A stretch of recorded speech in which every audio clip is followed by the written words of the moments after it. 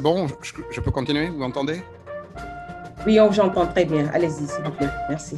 Donc, je disais que le premier objectif, c'est de ramener la, la, sécurité. Et donc, il ne faut pas se méprendre, c'est simplement de faire baisser la, la conflictualité jusqu'à un niveau qui soit acceptable. Donc, toutes les missions militaires qui ont succédé à, à l'opération Serval vont dans ce sens. Et il faut, il faut quand même le souligner. Donc, euh, il y, y a de plus en plus d'ailleurs d'initiatives qui sont internationalisées. Je rappelle par exemple que la force conjointe du G5 Sahel, c'est probablement un des rares exemples depuis très longtemps, si ce n'est le premier exemple en Afrique, où des pays ont accepté politiquement de partager des forces pour passer de part et d'autre de la frontière de façon fluide. Avant, ça ne s'était jamais produit. Donc, c'est quand même, il y a quand même des avancées. De plus en plus, des forces européennes et non européennes, je pense aux, aux Américains en particulier, aux Canadiens, qui s'associent à l'effort militaire qui est conduit au Sahel pour aller dans le sens de, ramener cette sécurité dont les peuples ont besoin. Et euh, je pense aussi maintenant, la, la, dernière initiative qui a été lancée, c'est la Task Force Takuba, qui est constituée de, forces spéciales européennes dont, la mission est d'accompagner les forces maliennes au combat. Dans la, sécurité dans l'espace soudano-sahélien, c'est l'affaire des peuples, en fait, et des États qui le composent.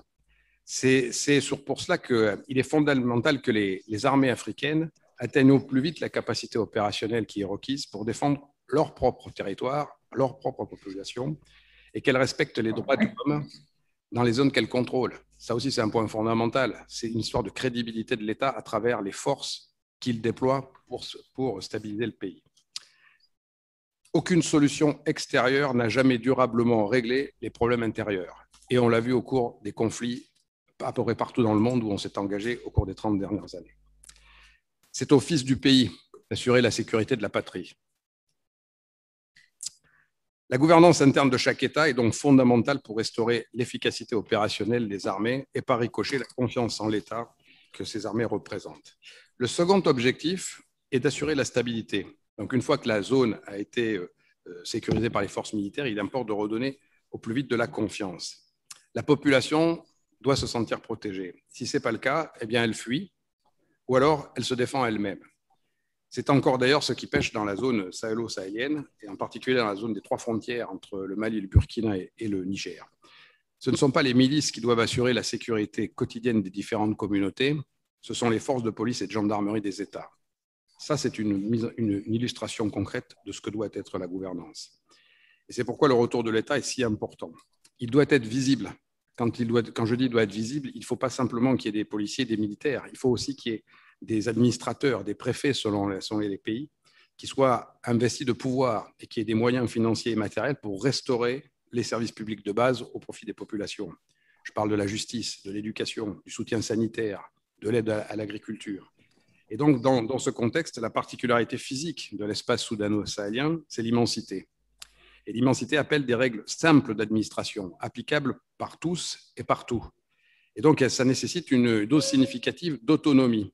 Alors, d'aucuns l'appellent la décentralisation, la régionalisation. Peu importe le nom que vous, vous allez donner à cette, à cette approche d'autonomie, il faut que ça se fasse de, plus, de, la manière la plus souple possible pour, pour être le plus adapté possible aux réalités de, du quotidien des populations. Et l'autonomie d'action, je rappelle, ça ne veut pas dire simplement de, de laisser libre cours à, à, ce que font un certain nombre d'administrateurs, ça exige du contrôle, du contrôle de l'État central qui donne cette autonomie, et des sanctions en cas de corruption, si la corruption évidemment avérée. Parce que la corruption, c'est le cancer qui sape l'autorité de l'État et ses représentants.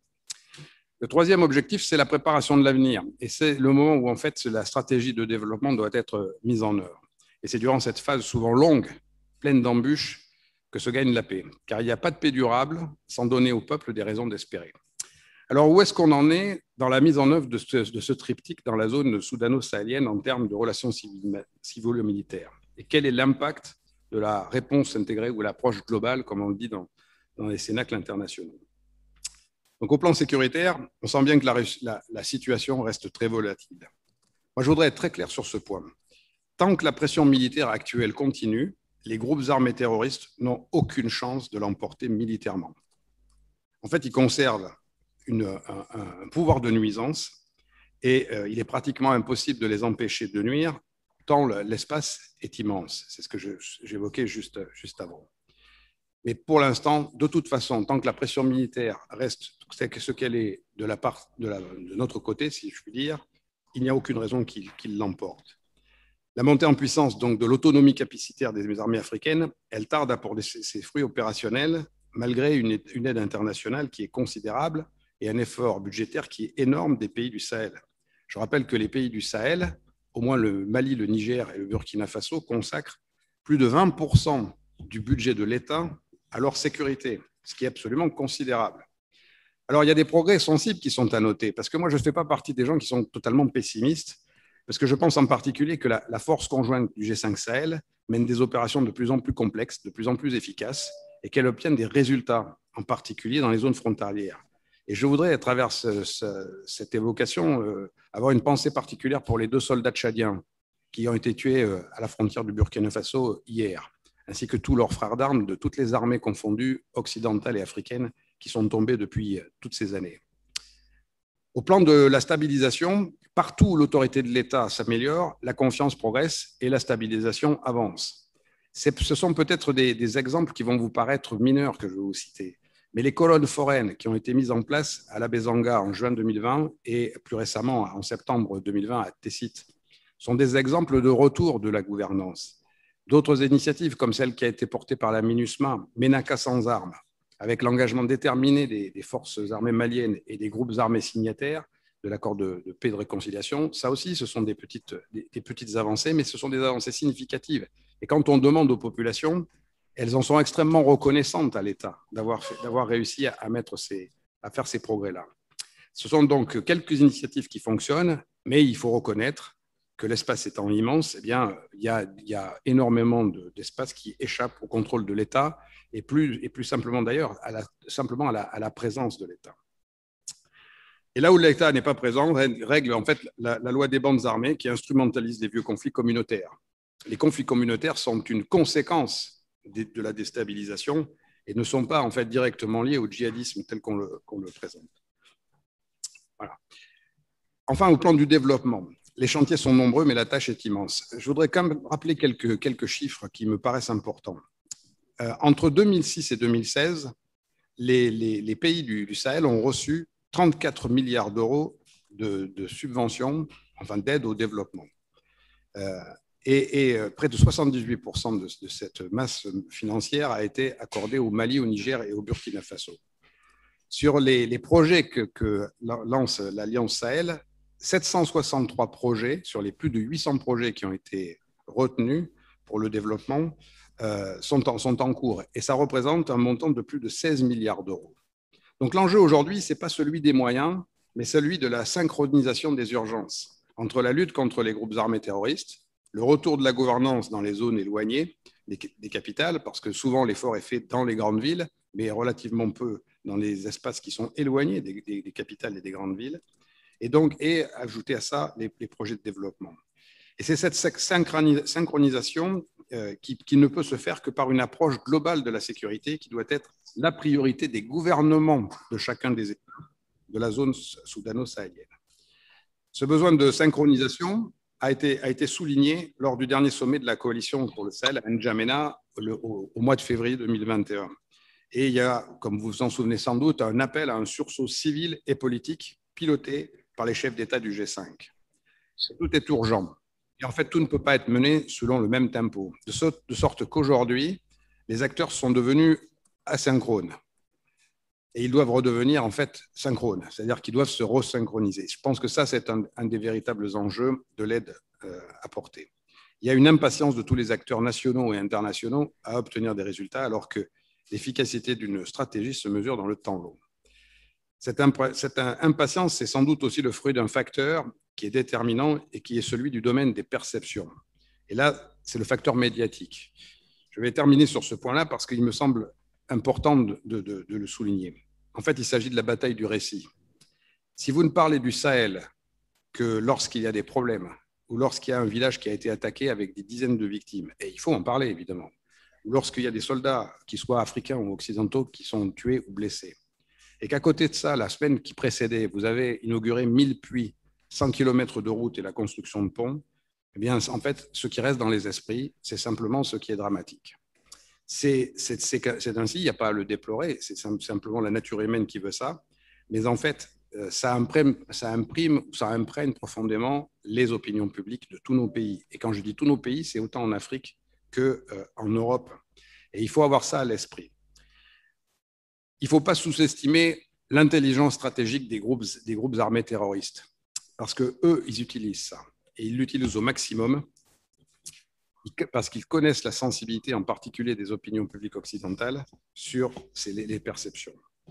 Ils ont fait donc le pari de l'usure, usure des contributeurs, usure des populations, usure des investisseurs, alors que la, stratégie par l'approche globale commande de tenir. En conclusion, au risque de vous paraître un petit peu optimiste, je crois que beaucoup de critères de succès sont en place en termes de relations civilo-militaires au Sahel. Ce qu'il faut, c'est une amélioration de l'ensemble de la gouvernance. Ça a été répété pratiquement continuellement ce matin dans les différentes conférences les prises de parole en ouverture de ce colloque. Il faut être porté par une claire détermination politique des États du Sahel qui permettent ensuite de capitaliser dans la durée sur chaque progrès et pour faire en sorte qu'en matière de sécurité, les progrès de développement avancent. Pour vaincre, il faut tenir et peut-être, je crois, réapprendre la patience stratégique. Je vous remercie et je ne sais pas si on pourra répondre à des questions après, mais je suis tout à fait disposé à vous répondre. Merci. Merci beaucoup, euh, Général euh, Boutino. On va revenir aux questions après. Et, mais ce que je retiens en termes de collaboration, c'est la nécessité de restaurer la confiance entre les populations dont vous avez parlé. Vous avez aussi dit qu'il y a une nécessité de la coopération au sein des forces de défense et de sécurité et leur interaction avec les autorités civiles est devenue un préalable à la solution de paix. Et pour le faire, il faudrait que ça se fasse simultanément mais aussi qu'il y ait complémentarité dans les interventions. Je crois que pour les questions, moi, ce qui me frappe vraiment dans votre intervention, c'est que vous avez donné des chiffres faramineux par rapport à l'aide euh, internationale pour la sécurité, mais en même temps aussi, vous dites que c'est au fils du pays d'assurer la sécurité de la patrie. Donc, je crois qu'on pourra revenir euh, sur euh, ces deux aspects qui semblent soit euh, complémentaires ou bien conflictuels, mais on pourra revenir sur ça. Merci encore pour la clarté de votre intervention et aussi pour le respect du temps. Nous allons passer à la présentation du général Bruno Clément Bollet du groupe Initiative Afrique. général Bollet, vous avez la parole. Merci. Merci beaucoup. Euh, d'abord, merci de m'avoir euh, convié à, ce colloque et j'y suis très honoré, bien sûr. Euh, je suis également très heureux de contribuer à rendre un légitime hommage au général Lamine Sissé. Je sais tout ce que je lui dois. Il avait l'art de combiner réflexion et action dans un subtil cocktail, ce que nous avons eu l'occasion de mettre en œuvre ensemble en Guinée à l'aube des années 2010. Je ne l'oublie pas. À son, égard, me viennent toujours à l'esprit les saintes d'écriture, celles que j'ai citées tout à l'heure dans le film qui lui rendait hommage. Heureux les artisans de paix, ils seront appelés fils de Dieu. Je me réjouis de la tenue de cet événement et appelle à sa pérennisation, considérant une fois encore, inspiré par le sacré, que la mesure d'agir pour la paix est bien d'agir sans mesure. Concernant mon intervention dans ce colloque, n'attendez pas de moi des propos de théoriciens, sur les problématiques liées à la gestion sécuritaire de l'espace soudano-sahélien. Je n'ai pas cette vocation. Mais plutôt, euh, je voudrais rendre un témoignage de praticien, ayant eu au cours de ma carrière, et parce que c'était ma mission, l'opportunité de concevoir et mettre en œuvre à plusieurs reprises des programmes de gestion de sortie de crise nationale et d'accompagner des équipes gouvernementales dans ce périlleux exercice. Pour ce qui est de notre table ronde, j'ai lu avec attention le libellé qu'elle proposait. J'ai bien noté les légitimes questions posées à partir de là concernant l'espace soudano-sahélien et j'en ai, je pense, saisi l'esprit. Mais je voudrais y répondre à ma manière, avec beaucoup d'humilité et sans donner de leçons à quiconque. Je voudrais y répondre en posant à mon tour trois questions auxquelles je m'efforcerai de répondre. La première de ces questions, c'est dans la crise sécuritaire que traverse l'espace soudano-sahélien, il y a un premier point à éclaircir pour ce qui est de la gestion de la, la stratégie à décliner. Et cette question est, c'est qui le chef? La situation dans l'espace soudano-sahérien s'est considérablement dégradée ces dernières années, rendant l'intervention pour un retour de la paix particulièrement complexe et difficile.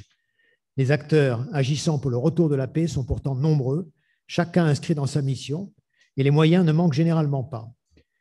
Mais l'absence d'une stratégie commune, ambitieuse et réaliste, et le manque d'une coordination des actions pourtant nécessaires sont criants. Cela pointe en fait la cruelle absence d'un unique et véritable chef d'orchestre. Chaque acteur estime avoir cette légitimité dans son domaine. Mais où est celui qui doit coordonner le tout? Il faut un chef. Finalement, dans l'espace soudano-sahélien, qui est cette entité en charge de concevoir, d'orienter, d'adopter et de mettre en œuvre la stratégie à laquelle tout le monde devra adhérer? Cette autorité devrait pourtant être clairement identifiée, faute de quoi chaque acteur profite du vide et s'établit comme chef. La première difficulté réside peut-être dans le fait que dans cet espace se superposent et se confrontent plusieurs niveaux de responsabilité. Au plan national, d'abord, il est d'autant plus important d'incarner l'autorité que la réponse, loin de se cantonner au seul domaine sécuritaire, plaide pour que ce chef d'orchestre soit un politique et non un militaire. Or, le poids des armes pèse fort dans l'espace soudano-sahélien, il écrase tout, étouffe le paysage, et l'autorité politique nationale peine à s'imposer sur la gestion de la sortie de crise, le cas échéant, ou sur le maintien de la stabilité quand le pays est en paix, mais que la pression monte. Les exemples sont légion. Le deuxième niveau, au plan régional, ensuite, la difficulté d'incarner une autorité vient probablement du fait que l'espace soudano-sahélien couvre plusieurs États, tous en position pour le moins délicate. Or, chacun estime légitime, avec raison, de faire la loi chez lui, mais c'est au détriment d'une impossible synergie qu'il faudrait pourtant provoquer, car elle permettrait d'inscrire dans une véritable cohérence les actions déclinées sur le terrain et d'en démultiplier leur impact. C'est donc la saine gestion du tout qui en pâtit. Au plan international, enfin, troisième niveau, se pose évidemment la question de la légitimité de chaque acteur extérieur, comme celle des actions qu'il entreprend. Sont-elles vraiment demandées par l'acteur local ou sont-elles imposées au nom du principe du qui paye commande Si c'est le cas, n'est-ce pas une des explications du constat que beaucoup d'entre nous ont pu faire de voir des actions décalées, inadaptées, car fort éloignées en vérité de la prise en compte des réalités de la situation locale? Ainsi, il est nécessaire de se poser la question de l'incarnation de l'autorité pour la gestion de l'espace soudano-sahélien en national, en régional, comme au plan international. Alors justement, parlons un peu de la réponse à apporter à la question de la gestion de l'espace soudano-sahélien. Et j'en viens à ma deuxième question. Dans l'espace soudano-saharien, la réponse ne doit-elle pas être soudano-saharienne? Trop souvent, face au chaos ambiant, en contexte de crise comme dans celui du maintien de la paix, l'autorité nationale est assaillie par une communauté internationale pesante et arrogante qui lui impose ses solutions venues d'ailleurs et ça ne marche jamais. L'autorité locale doit pourtant s'imposer et imposer ses solutions. Si elle doit se réjouir de la présence des nombreux acteurs de la communauté internationale, elle doit aussi exiger d'eux qu'ils accompagnent la solution, la solution locale, même si elle n'obéit pas à leur doxa. Si cette vision est la bonne, alors elle impose plusieurs exigences.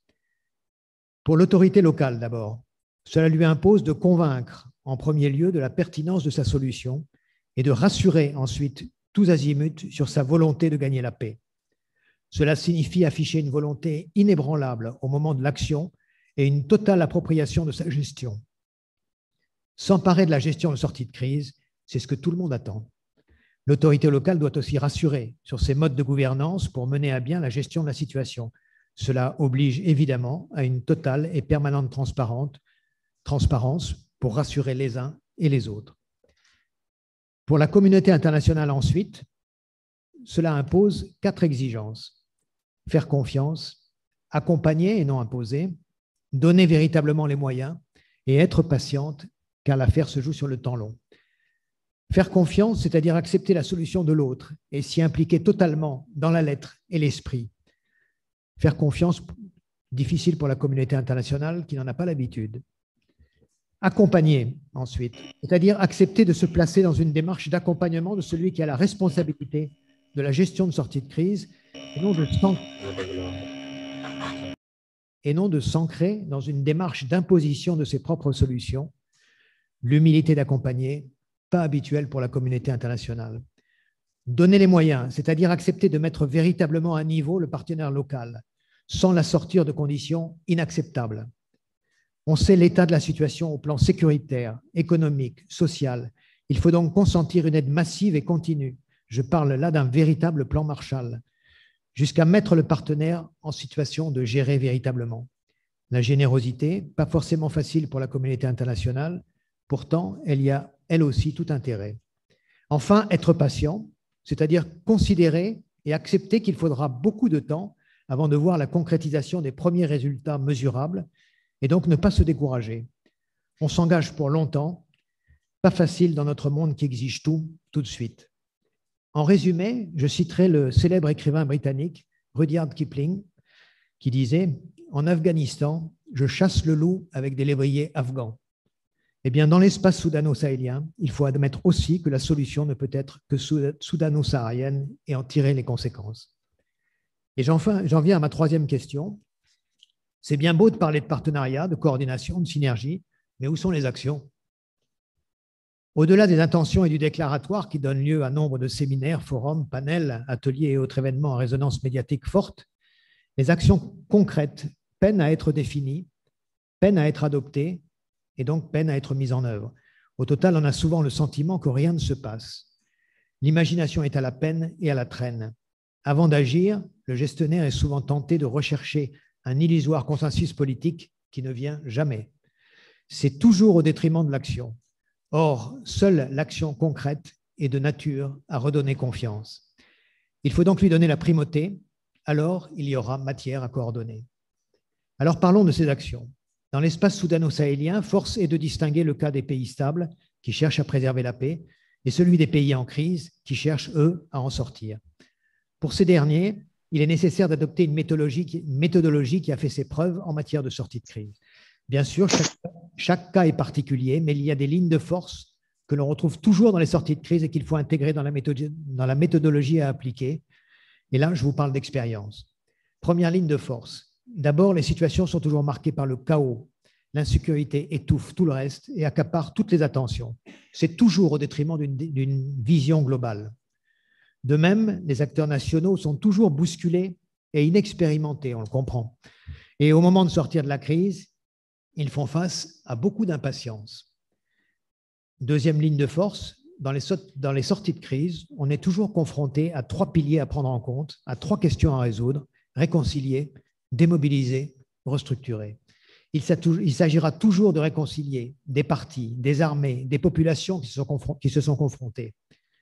Il s'agira toujours de démobiliser, chaque parti ayant incorporé un maximum d'effectifs pendant la crise pour être le plus fort, mais le temps de la paix revenu, il faut impérativement régler cette question sécuritaire, la démobilisation. Il s'agira aussi toujours de reconstruire toutes les structures ayant été affectées avec la, paix. Il faut tout rebâtir. Réconciliation, démobilisation, reconstruction, tels sont les trois incontournables piliers de toute sortie de crise. Mais la difficulté ne s'arrête pas là car il est en plus impératif de régler ces trois questions immédiatement, simultanément et de façon coordonnée, car chaque pilier a une incidence sur les deux autres. Troisième ligne de force, dans les sorties de crise, on a toujours en face de soi la foule des impatients, la population qui en a marre, qui veut la paix, le retour de la paix, les partis politiques d'opposition, la communauté internationale. Chacun s'impatiente et ne comprend pas pourquoi rien de concret ne se passe sur le terrain. Il faut pouvoir répondre tout de suite à cette impatience qui se traduit par une pression très pesante et croissante. Dès le début de la sortie de crise, il faut monter des signes concrets que l'État est engagé. Pour cela, la stratégie de double dynamique a toujours fonctionné quand elle a été mise en œuvre avec bon sens. Il s'agit de concevoir et mettre tout de suite en œuvre des actions de court terme, utiles, mais surtout à effet visuel fort, destinées à rassurer les impatients, montrer que ça y est, des premiers signes concrets montrent que les choses commencent à bouger. Cela évite d'avoir la pression pour parallèlement commencer à concevoir les actions de long terme qui permettront de véritablement et en profondeur réconcilier, démobiliser et reconstruire, sachant que la stratégie à mettre en place demande du temps et que les effets de ces actions de long terme ne seront visibles que sur le temps long. Pour ce qui est des pays qui veulent préserver leur stabilité, il y a nécessité aujourd'hui de considérer la notion de sécurité sous un angle élargi. C'est particulièrement vrai pour l'espace soudano-saharien. Le regard sécuritaire doit couvrir tous les secteurs de la vie de l'État et donc, au-delà du sécuritaire pur, couvrir aussi les secteurs économiques et sociaux. Dans ces domaines, l'outil de sécurité nationale peut apporter beaucoup. Et il faut considérer que chaque fois qu'il est acteur de la paix sociale, L'outil de sécurité et de défense est dans sa mission de renforcer la sécurité nationale, sécurité compris au sens élargi du terme.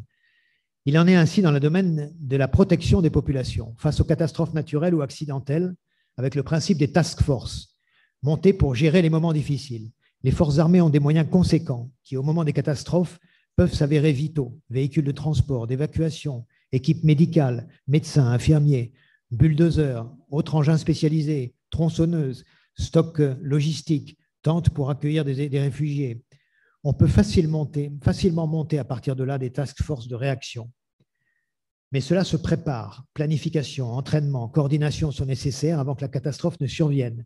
Bien préparé, cela marche bien, et l'image qu'en retirent les forces armées auprès de la population est extrêmement bénéfique, comme j'ai pu le constater en Côte d'Ivoire, en Guinée, à Madagascar ou en Guinée-Bissau. Dans le domaine de l'aide à l'insertion sociale et professionnelle de la jeunesse aussi, les forces armées peuvent apporter beaucoup. On peut ainsi évoquer le succès que rencontrent les services civiques d'aide à l'insertion, dont se sont donnés plusieurs pays d'Afrique, comme la Côte d'Ivoire, Madagascar, Djibouti, la Guinée et bientôt les Comores, qui va le mettre en place. Le service civique s'adresse aux jeunes filles et garçons de tout niveau qui sont volontaires pour bénéficier durant un an d'internat d'un programme d'insertion sociale et professionnelle qui additionne trois savoirs. Le savoir-être, l'école du comportement, le savoir-faire, l'apprentissage d'un métier, le savoir se comporter, le savoir euh, euh, euh, prendre en charge son activité, le savoir donc s'insérer.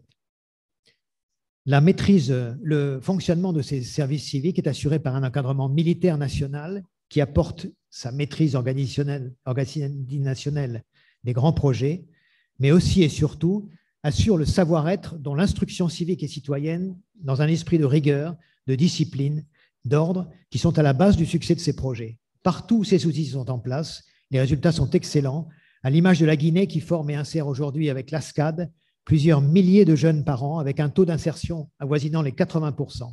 Là encore, l'image qu'en retire l'outil militaire est extrêmement positive. En conclusion, et comme vous l'avez remarqué, j'ai insisté d'abord sur les États en crise de l'espace soudano-saharien, c'est pour moi l'urgence et que j'ai probablement été influencé par mon passé de soldat. Mais il est sûr que tous les autres États doivent aussi se poser la question de l'action à entreprendre pour renforcer la stabilité. Ensuite, faire preuve d'une volonté farouche de conduire ces actions. Enfin, garder à l'esprit l'importance vitale de la bonne coordination des acteurs, des acteurs qu'ils auront su fédérer autour de l'action. Mais dans tous les cas, je relève qu'au centre de la situation de l'espace soudano-sahélien, il y a l'État ou les États. Il faut lui redonner le rôle central et l'aider à, tenir ce rôle avec bon sens, pertinence cohérence et intelligence. Dans ces, domaines, mon ami le général Lamine Sissé nous a montré le chemin.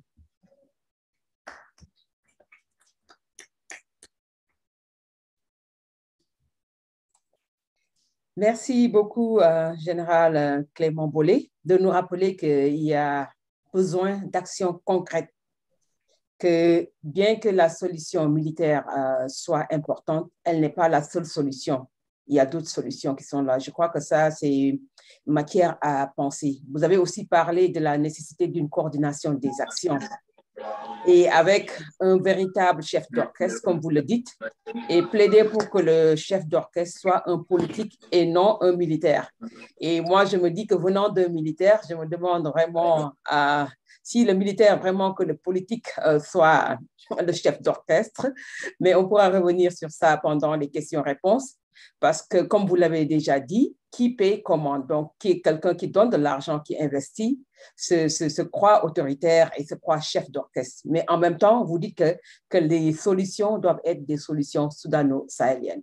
Mais on pourra revenir sur ces aspects importants pendant les questions-réponses. Merci encore euh, pour cette euh, brillante euh, intervention. Et nous allons passer au général Baïsissé qui est directeur général du Centre des autres études de défense et de sécurité, CHED, pour nous entretenir de sa présentation. Général Cissé, vous avez la parole. Merci, Madame la modératrice, Messieurs les officiers généraux, Mesdames et Messieurs, chers participants. Je voudrais donc euh, commencer par quelques interrogations, en m'associant bien sûr à l'hommage qui est rendu au général Lamine Sissé, que j'ai eu la chance de côtoyer, de connaître.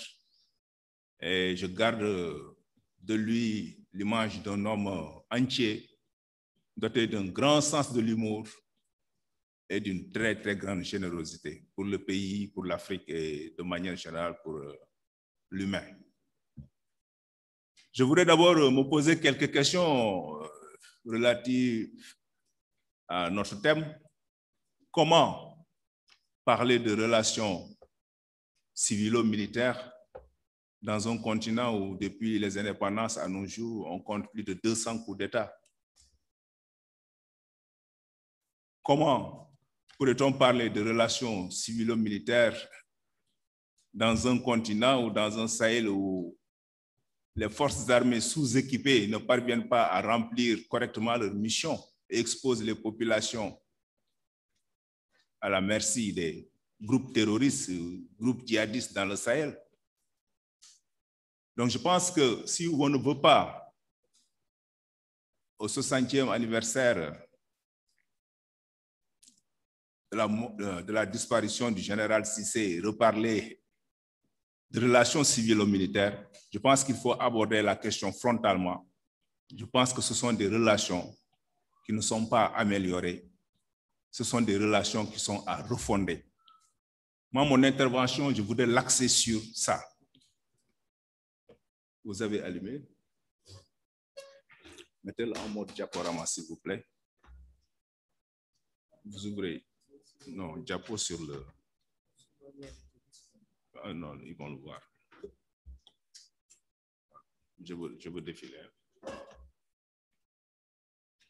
Donc, je disais que ce qui est important, à mon sens, quand on parle aujourd'hui du Sahel, on ne peut pas parvenir à une gestion de la sécurité dans le Sahel si on ne règle pas le préalable. Le préalable, c'est quoi? Moi, je parle du constat suivant. Au Sahel, de manière générale, et pour me limiter à l'Afrique de l'Ouest, les forces de défense et de sécurité constituent le problème central, puisque ces forces de défense et de sécurité sont le plus souvent génératrices de désordre et d'insécurité et d'instabilité. Vous me posez la question, comment cela? Mais ce sont des faits. Et euh, dans mon exposé, j'ai tenté d'y répondre. Et je dis que si nous voulons, dans les années à venir, régler la question des relations civilo-militaires apaisées, puisque dans une démocratie normale, seules des relations civilo-militaires équilibrées peuvent constituer la colonne vertébrale d'une bonne démocratie, si nous ne voulons pas, dans les 60 prochaines années, parler encore de relations civilo-militaires, il faut avoir le courage de poser les problèmes sur la table et de les refonder. Et j'ai dit, moi, dans, j'assume que cette refondation n'incombe pas aux militaires ou aux décideurs. Ces relations incombent aux sociétés civiles ouest-africaines qui doivent en faire leur combat et porter ce combat. Je vais rapidement passer parce que je sais qu'on n'aura pas beaucoup de temps, mais sur l'état des lieux, pourquoi je disais qu'aujourd'hui, les relations civilo-militaires sont très heurtées dans le Sahel? Il y a un sentiment de malaise général, généralisé même, entre civils et militaires. On va prendre l'exemple du Sahel pour illustrer mes propos. Aujourd'hui, le niveau de violence dans le Sahel, euh, quand vous prenez un pays, euh, les trois pays qui sont les, plus exposés, le Niger, le Burkina et le Mali, les derniers rapports sont inquiétants il y a plus de victimes civiles que de victimes militaires. Ça, c'est une première anomalie dans un pays où les militaires sont censés aller défendre les, populations. Il y a plus de victimes tuées par les forces de défense et de sécurité que par les groupes djihadistes. Ça, c'est aussi un deuxième indice inquiétant. Et le dernier rapport, le dernier rapport qui est sorti cette semaine de la coalition du Sahel, euh, parle entre 2017 et 2020, il y a eu, en fait, le nombre de victimes a été multiplié par 5. Alors que la fonction des, des militaires, enfin, les forces de défense et de sécurité, sont censées protéger les populations, les missions régaliennes de l'État, pour voir à la sécurité des populations. Ça, c'est le premier niveau de divorce. Parce que si les, forces de défense et de sécurité ne sont pas en mesure de pouvoir à leur mission régalienne, mais il ne faut pas que les populations s'attendent à autre chose qu'à le regarder en chaîne de faïence. Et dans le cas du Sahel, le problème central, c'est avec l'hybridation des menaces, il y a une instrumentalisation de plus en plus grande des conflits communautaires. Et comme vous le remarquez, la plupart du temps, dans ces, dans cette, dans, en cas de, de, de, de problème, on a, on, a, on a, souvent accusé les forces de défense et de sécurité d'être du côté d'une communauté contre l'autre. Le problème récurrent qui revient dans le Sahel entre les Dogons et les Peuls, où on accuse parfois, c'est les militaires qui sont avec les Peuls pour tuer des Dogons, parfois c'est des Dogons qui sont avec les militaires, avec tous ces groupes d'autodéfense qui SM dans le Sahel et qui sont plus ou moins le reflet de cette dégradation de la situation sécuritaire parce qu'il n'y a pas de relation apaisée, il n'y a pas de relation consentie et bien tissée. Aujourd'hui, dans le Sahel, on compte environ, euh, il y a une belle étude du FUNIAP qui est sortie en décembre 2020 qui fait un nexus entre la démographie, la paix et la sécurité. Et dans, ce, dans cet ouvrage, on, on, a identifié 17 stratégies de sortie de crise. Il y a 17 initiatives, qu'elles soient nationales, internationales ou interafricaines, qui parlent du Sahel. Et aucune de ces stratégies n'a jusqu'à présent pas réussi à régler le problème. Donc, il y a un vrai malaise. L'état des lieux, c'est quoi? J'ai pris l'exemple de l'Afrique de l'Ouest, mais en Afrique de l'Ouest, les forces de défense et de sécurité constituent un grand problème. Et je vais vous expliquer pourquoi. En dehors de deux pays, entre 60 et maintenant, tous les autres pays ont connu des coups d'État. Donc, il y, a, une certaine pathologie institutionnelle qui est là et qu'on essaie parfois de, de remanier à coup de réforme ou de réformettes au lieu de peut-être de prendre le problème à la racine c'est-à-dire de voir qu'est-ce qui ne va pas, pourquoi on n'est pas encore en mesure de régler le problème euh, de la sécurité et que les armées soient subordonnées aux politiques et se limitent à leur mission. Donc la question centrale, comment confiner, pour utiliser un lexique à la mode, comment confiner les forces de défense et de sécurité dans leur mission régalienne et les exclure et les extraire totalement de la politique? C'est ça la condition sine qua non pour avoir des relations civilo-militaires normales, comme vous allez les avoir chez vous, mon général, et dans les autres pays du monde. Donc, pourquoi cette situation? Je pense que c'est consubstantiel à la nature de nos armées. Nos armées, il faut le dire, sont nées euh, de leur ancrage, euh, c'est un lait colonial. Peu de pays africains euh, ont eu un processus de formation normal d'une armée. Donc, ce sont des armées qui sont héritées de la colonisation et pour la plupart, qui ont été plus ou moins inadaptées. Quelqu'un parlait ce matin tout à l'heure de contenu culturel de la réforme. C'est des armées qui ont été parfois mises sous pied sans contenu local. C'est un contenu copié plutôt, avec des missions qui ne sont pas leurs missions, des armées qui étaient plus dans la répression, dans des postures prétoriennes, que dans le développement. À part un ou deux pays en Afrique de l'Ouest, il n'y avait pas beaucoup de, les armées étaient rangées derrière le parti unique et étaient là pour la reproduction, la reproduction du même système, comme on le dit. Ça, ce sont, ce sont dans les gènes, et ce sont ces gènes qui empêchent hein, d'asseoir des relations civilo-militaires conséquentes. Qu'est-ce qu'on peut noter si on résume en réalité?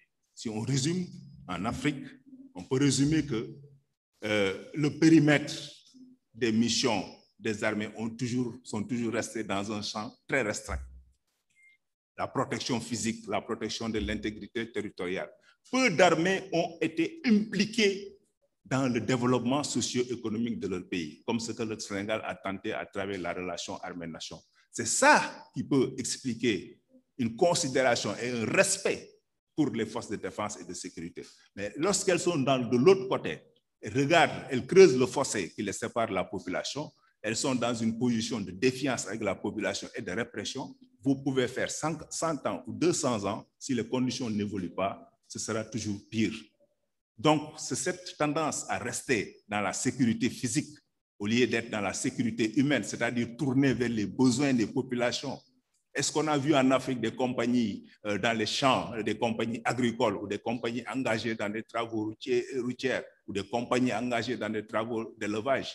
Non, on a des armées parfois pléthoriques qu'on ne peut même pas entretenir correctement et qui sont source d'insécurité pour les populations, encore une fois, qu'on parle de relations civilo-militaires. Je pense que euh, est, important d'insister que historiquement, c'est presque dans leur chaîne, ce sont des armées qui ont hérité de pas mal de tard et qu'il est temps, euh, je passe très vite sur beaucoup de choses, bien sûr, à cause du temps, mais il est temps de penser sérieusement à une bonne refondation. Et cette refondation, elle passe par où? C'est là où je vais relativement insister. Je pense que pour régler la question, définitivement, je veux dire, la question de l'insécurité et de l'instabilité, pour confiner les forces de défense et de sécurité dans leur mission traditionnelle de défense et de sécurité, pour élargir les forces de défense, pour, parvenir à des relations apaisées entre civils et militaires dans des espaces propices au développement, il y a trois urgences pour moi en Afrique. La première urgence, c'est au niveau institutionnel. Parce que je rapporte encore une fois la question de la sécurité dans le Sahel ou en Afrique de manière générale. Il ne faut pas qu'on se trompe. C'est une solution collective ou elle ne sera pas. Prenez l'exemple actuellement du Sahel, avec la ceinture de feu qui s'élargit. Si tous les, pays vont tomber un à un, jusqu'à si rien n'est fait, jusqu'à ce que la violence s'installe définitivement. Donc, il faut envisager des réponses collectives. Et le premier niveau de réponse, quelqu'un le disait, il faut un chef. Pour moi, le chef, c'est la CDAO, le niveau institutionnel en général. Le niveau institutionnel, c'est quoi?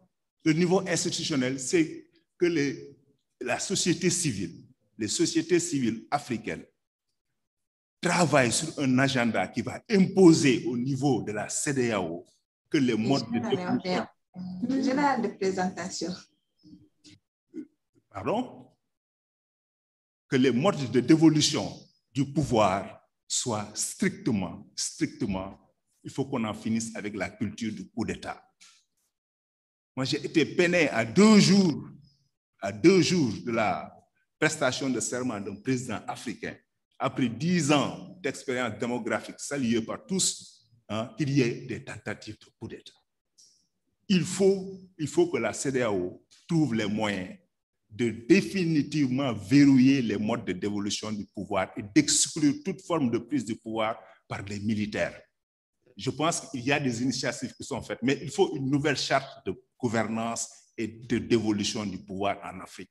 Et parmi les mesures à ajouter, c'est la possibilité d'exclure définitivement à toute fonction élective un militaire qui a fait un coup d'État. Parce que le problème de fond, vous, allez, vous faites un coup d'État, vous prenez les deniers de l'État, vous changez de, fonction, vous êtes maintenant civil, vous revenez par la petite porte, vous briguez le suffrage de vos citoyens que vous achetez et puis vous, vous exercez le pouvoir. Il faut qu'on arrête ça. Il faut, il faut que la, il faut, c'est pourquoi j'ai dit que c'est un combat des sociétés civiles africaines. Il faut refuser, il faut exclure définitivement cette forme de dévolution du pouvoir. Ça, c'est le premier outil de stabilité. Deuxième niveau, c'est le niveau structurel.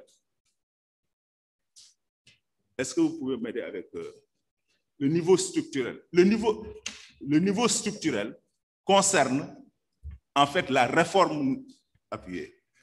La réforme qu'il faut. Next slide, je veux dire. OK. Appuyez ça sur la machine. Le niveau structurel concerne la nécessaire réforme de sécurité qu'il faut faire. Regardez bien, je pense qu'on a pendant longtemps, il y a une, beaucoup de théories sur structurel.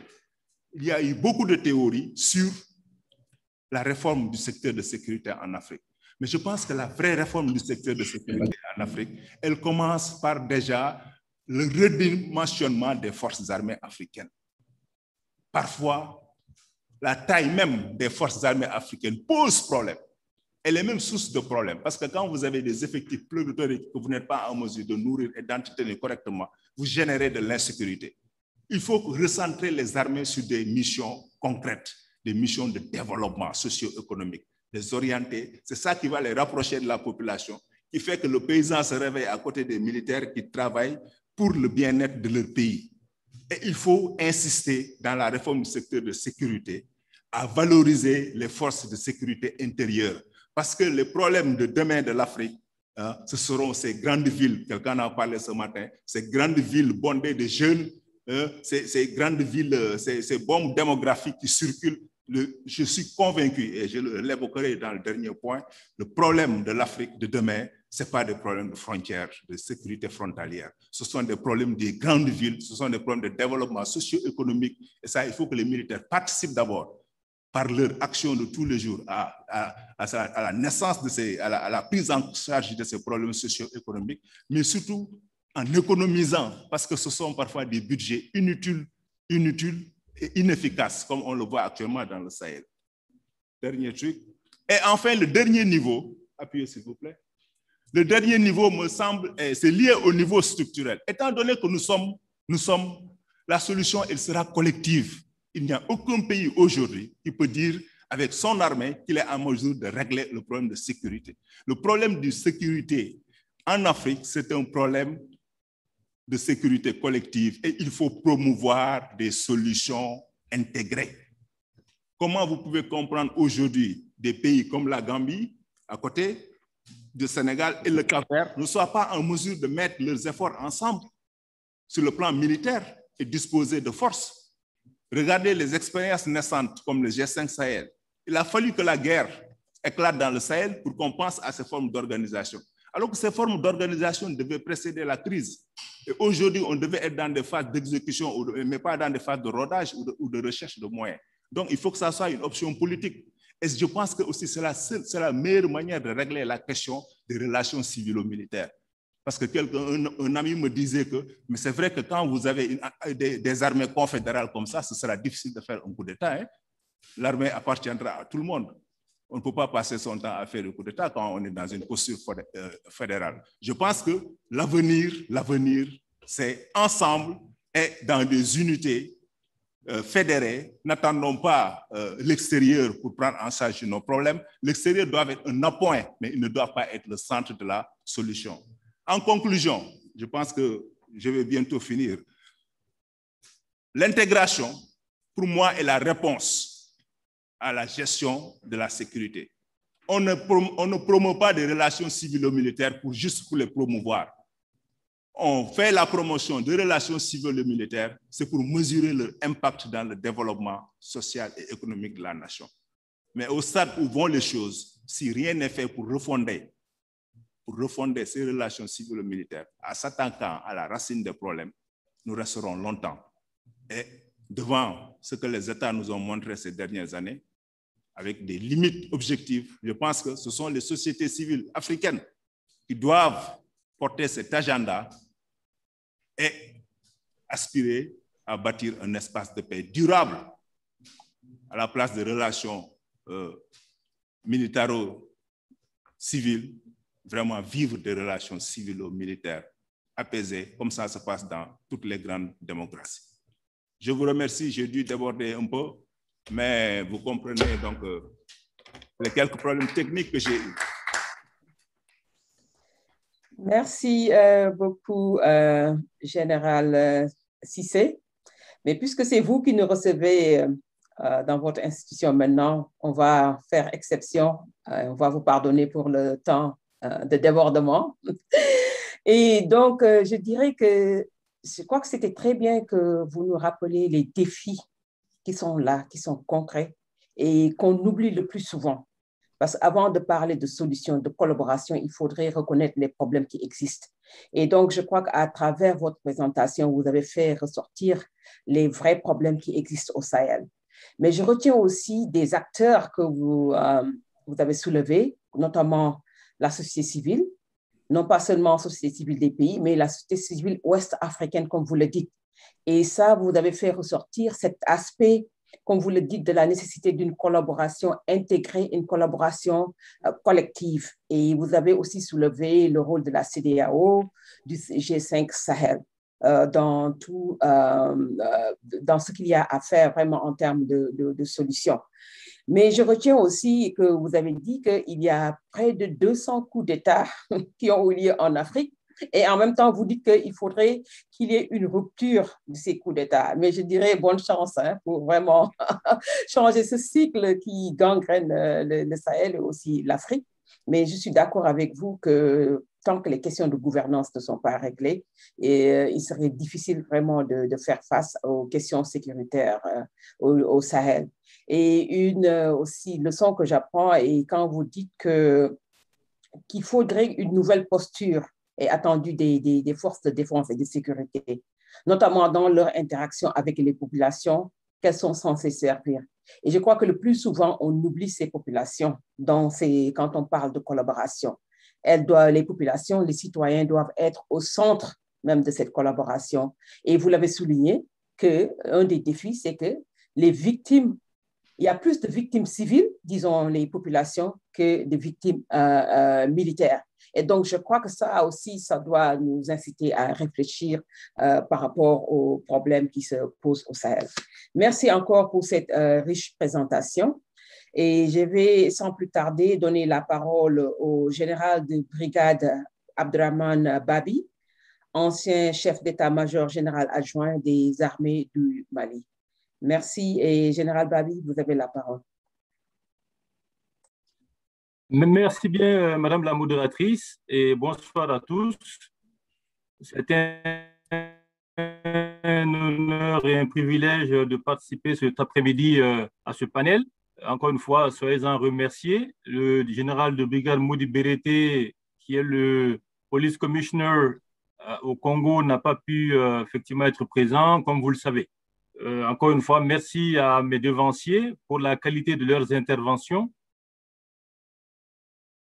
Et dire encore une fois que, en tant que chef d'état-major de l'armée terre, en tant qu'ancien soutien opération à l'état-major général des armées, rendre hommage et saluer l'effort de tous les pays partenaires qui accompagnent le Mali depuis la crise qui sévit dans ce pays depuis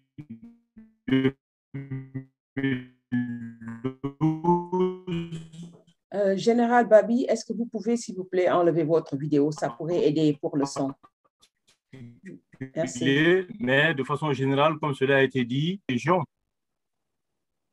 Ça, donc, euh, pour dire que, euh, en espérant que cela aide aussi par rapport et rendre hommage à tout ce qui aide à ramener la paix au Mali, aux Sahéliens, comme cela a été dit. Pour ma part, par rapport aux interventions euh, précédentes, dans lesquelles je partage euh, beaucoup de points, je, crois que la coopération entre euh, les forces de défense et de sécurité et ensuite la question des relations, nous devons point de vue, regarder ce qui a été dit par certains, la question de gouvernance. Parce que les forces de défense et de sécurité euh, sont un instrument à la disposition de l'autorité politique qui a la décision ultime en termes de hiérarchie dans la chaîne de commandement. Et donc, il est important que effectivement les mécanismes et les procédures soient connus pour que le travail puisse se faire. Certains ont parlé du préalable. Euh, je suis d'accord tout à fait avec euh, cela parce que c'est une interrogation que nous nous posons. Euh, quels sont les préalables à la coopération entre les forces de défense et sécurité et quels sont les préalables à cette relations civilo-militaires, parce qu'il faut bien le regarder. Et une fois qu'on a dit ça, c'est qu'un point qui frappe, c'est bien l'absence parfois de vision. Cela a été dit par certains. Euh, qui est le chef? D'aucuns ont répondu pour notre part que dans ce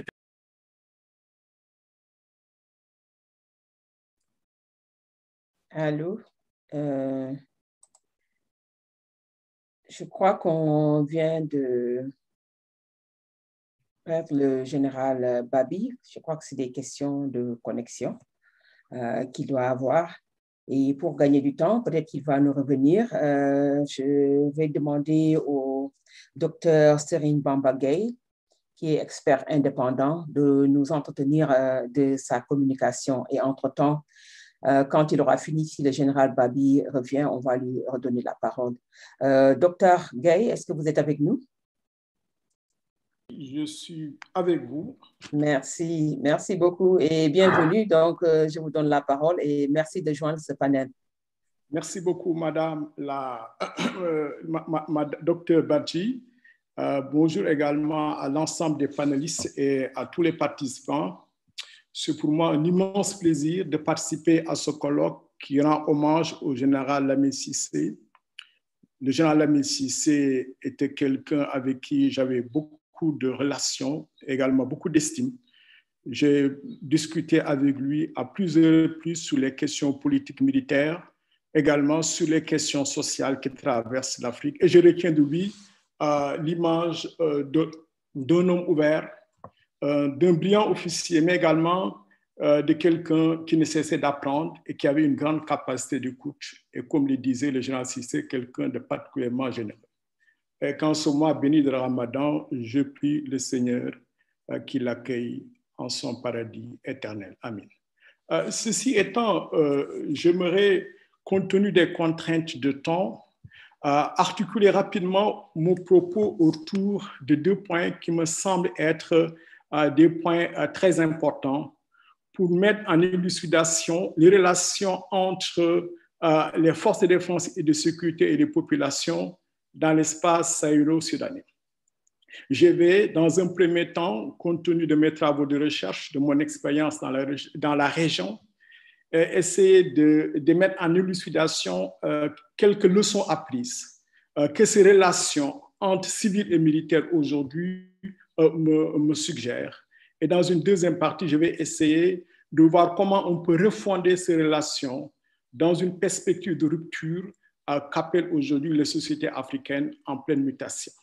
deux constats. En, au Sahel et dans la bande soudano-sahélienne, on se rend compte que depuis bientôt 10 ans, 15 ans, euh, cette situation est traversée de part en part par un certain nombre de vulnérabilités et de conflits.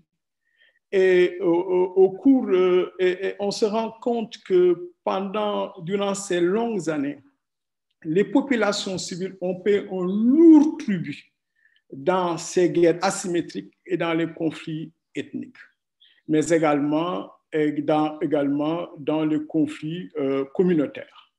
Deuxième point, on se rend compte que pour gagner véritablement une guerre asymétrique, il faut la gagner avec ces populations et contre ces populations. Ces deux constats montrent quoi? L'importance d'accorder, euh, l'importance qu'on doit accorder aux populations civiles euh, dans la lutte qui se mène aujourd'hui au Sahel contre ces menaces asymétriques. Si euh, aujourd'hui les populations civiles ne sont pas du côté de l'État et des forces armées, on va mettre 100 ans, 200 ans, on ne va jamais gagner ces conflits et relever ces défis. Donc il faut inverser la perspective stratégique et mettre les populations au centre aujourd'hui de la lutte contre l'extrémisme violent, également pacifier euh, le Sahel. Et quand on, se rend compte que ce pari est loin d'être gagné, parce qu'au cours de ces dix dernières années, comme je le disais, euh, il y a un certain, un certain, nombre de leçons apprises qui montrent véritablement que les relations entre les forces de défense et les populations civiles sont heurtées. Et je vais en rappeler quelques-unes. Euh, la première leçon, c'est qu'il y a eu beaucoup de dégâts, beaucoup de dégâts collatéraux, erreurs de ciblage, euh, dans beaucoup de pays africains où l'armée tue plus les civils que les présumés terroristes. Et cela a un effet boomerang, cela véritablement retourne l'opinion publique contre euh, les armées. Un autre élément euh, qu'on a vu également, c'est que les forces de défense et de sécurité sont accusées de violations graves des droits de l'homme. J'ai fait récemment une étude pour la Fondation Ebert avec Africa Government Center. On a recensé plus de 15 violations dont les forces de défense et de sécurité au Mali, au Niger et au Burkina Faso ont été les auteurs. Et cela véritablement constitué des faits gravissimes qui ne permettent pas véritablement aux forces de défense et de sécurité d'apparaître comme étant les piliers dans la lutte contre l'extrémisme euh, violent. Ici ajoute que il y a également des, des, des, des exécutions extrajudiciaires souvent menées à partir de drones. Et là, ce n'est pas les forces de ces pays, mais c'est souvent les forces internationales, en particulier Barkhane. Et récemment, il y a eu cette polémique autour, en fait, euh, des, morts, euh, euh, les, morts engendrées par une frappe de Barkhane dans le centre du Mali. Et cela a véritablement terni l'image de cette, de cette opération extérieure, mais également l'image également de toutes, les, institutions qui sont impliquées dans de tels événements. Donc, pour dire quoi? Pour dire quoi?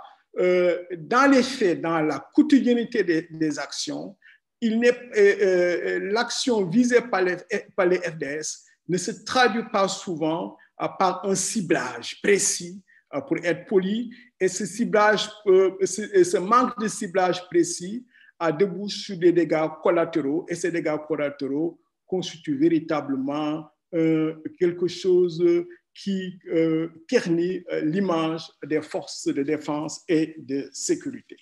Ici, l'autre leçon apprise dans plusieurs pays du Sahel, euh, les forces de défense et de sécurité ont voulu véritablement travailler avec des milices. Euh, mais les résultats obtenus, c'est des résultats mitigés. Mitigés parce qu'in fine, ces milices véritablement euh, n'ont pas été des instruments performants pour protéger les populations. Souvent, c'est des milices qui sont instrumentalisées au profit d'une communauté et cela véritablement crée aussi des situations de tension, de tension, aggravation des tensions au niveau de ces euh, luttes communautaires, euh, de ces conflits communautaires, et les forces de défense et de sécurité, à tort ou à raison, sont accusées euh, de pactiser avec telle milice au détriment d'autres, ou bien véritablement d'être complices des exactions de telle milice. Donc, pour dire que c'est des stratégies euh, sur le terrain qui consistent à travailler avec les milices dans la bande du Sahel n'a pas donné des résultats escomptés et cela n'a pas permis à l'armée véritablement euh, d'apparaître comme un euh, l'outil euh, qui permet de restaurer euh, l'ordre dans des zones troublées comme celles que nous vivons, telles que nous connaissons dans cette partie de l'Afrique. L'autre leçon apprise, c'est la question de la communication. La question de la communication, là également, il y a beaucoup de choses à dire. Euh, devant euh, de pareilles accusations, euh, la communication qui a été mise sur pied par les armées n'a pas permis soit de mettre la lumière sur ces, ces, violations des droits de la personne, mais également de permettre à l'armée de monter sa neutralité dans des conflits où véritablement l'État doit être le garant de la paix sociale. Donc, en matière de communication également, euh, il y a euh, des faiblesses qu'on a constatées dans ces pays quand l'armée est en première ligne, en situation de crise ou, ou des situations où l'armée est impliquée dans des situations euh, de violation des, des, droits de la personne. Un autre élément, c'est que ce qu'on a appelé traditionnellement le COSIM, la coopération civilo-militaire, euh, qui est une réalité quand même et qui a permis à l'armée dans plusieurs pays de participer à la construction d'infrastructures, d'être à côté des populations. Cette coopération civilo-militaire euh, ne fonctionne pas, ne fonctionne pas euh, dans un contexte de menace asymétrique. Pourquoi? Parce que euh, la situation devient tellement volatile qu'on ne peut plus travailler sur la base de projets parce qu'il y a un passif humanitaire et ce qui fait véritablement que les populations attendent beaucoup des armées, mais les armées ne peuvent pas, par rapport à la situation dont je viens de parler, véritablement apporter des solutions aux, aux, demandes des populations. Pourquoi? Parce que ces armées même, de plus en plus, sont dépassées par la situation et trouvent les solutions pour se protéger ou bien également des solutions pour euh, faire face à l'urgence que dicte la situation. Euh, l'autre élément, euh, c'est que même cette coopération civilo-militaire a montré ses limites, a montré ses limites euh, parce qu'en vérité, cette coopération civilo-militaire n'a pas été en mesure de prévenir, de prévenir des exactions, des exactions.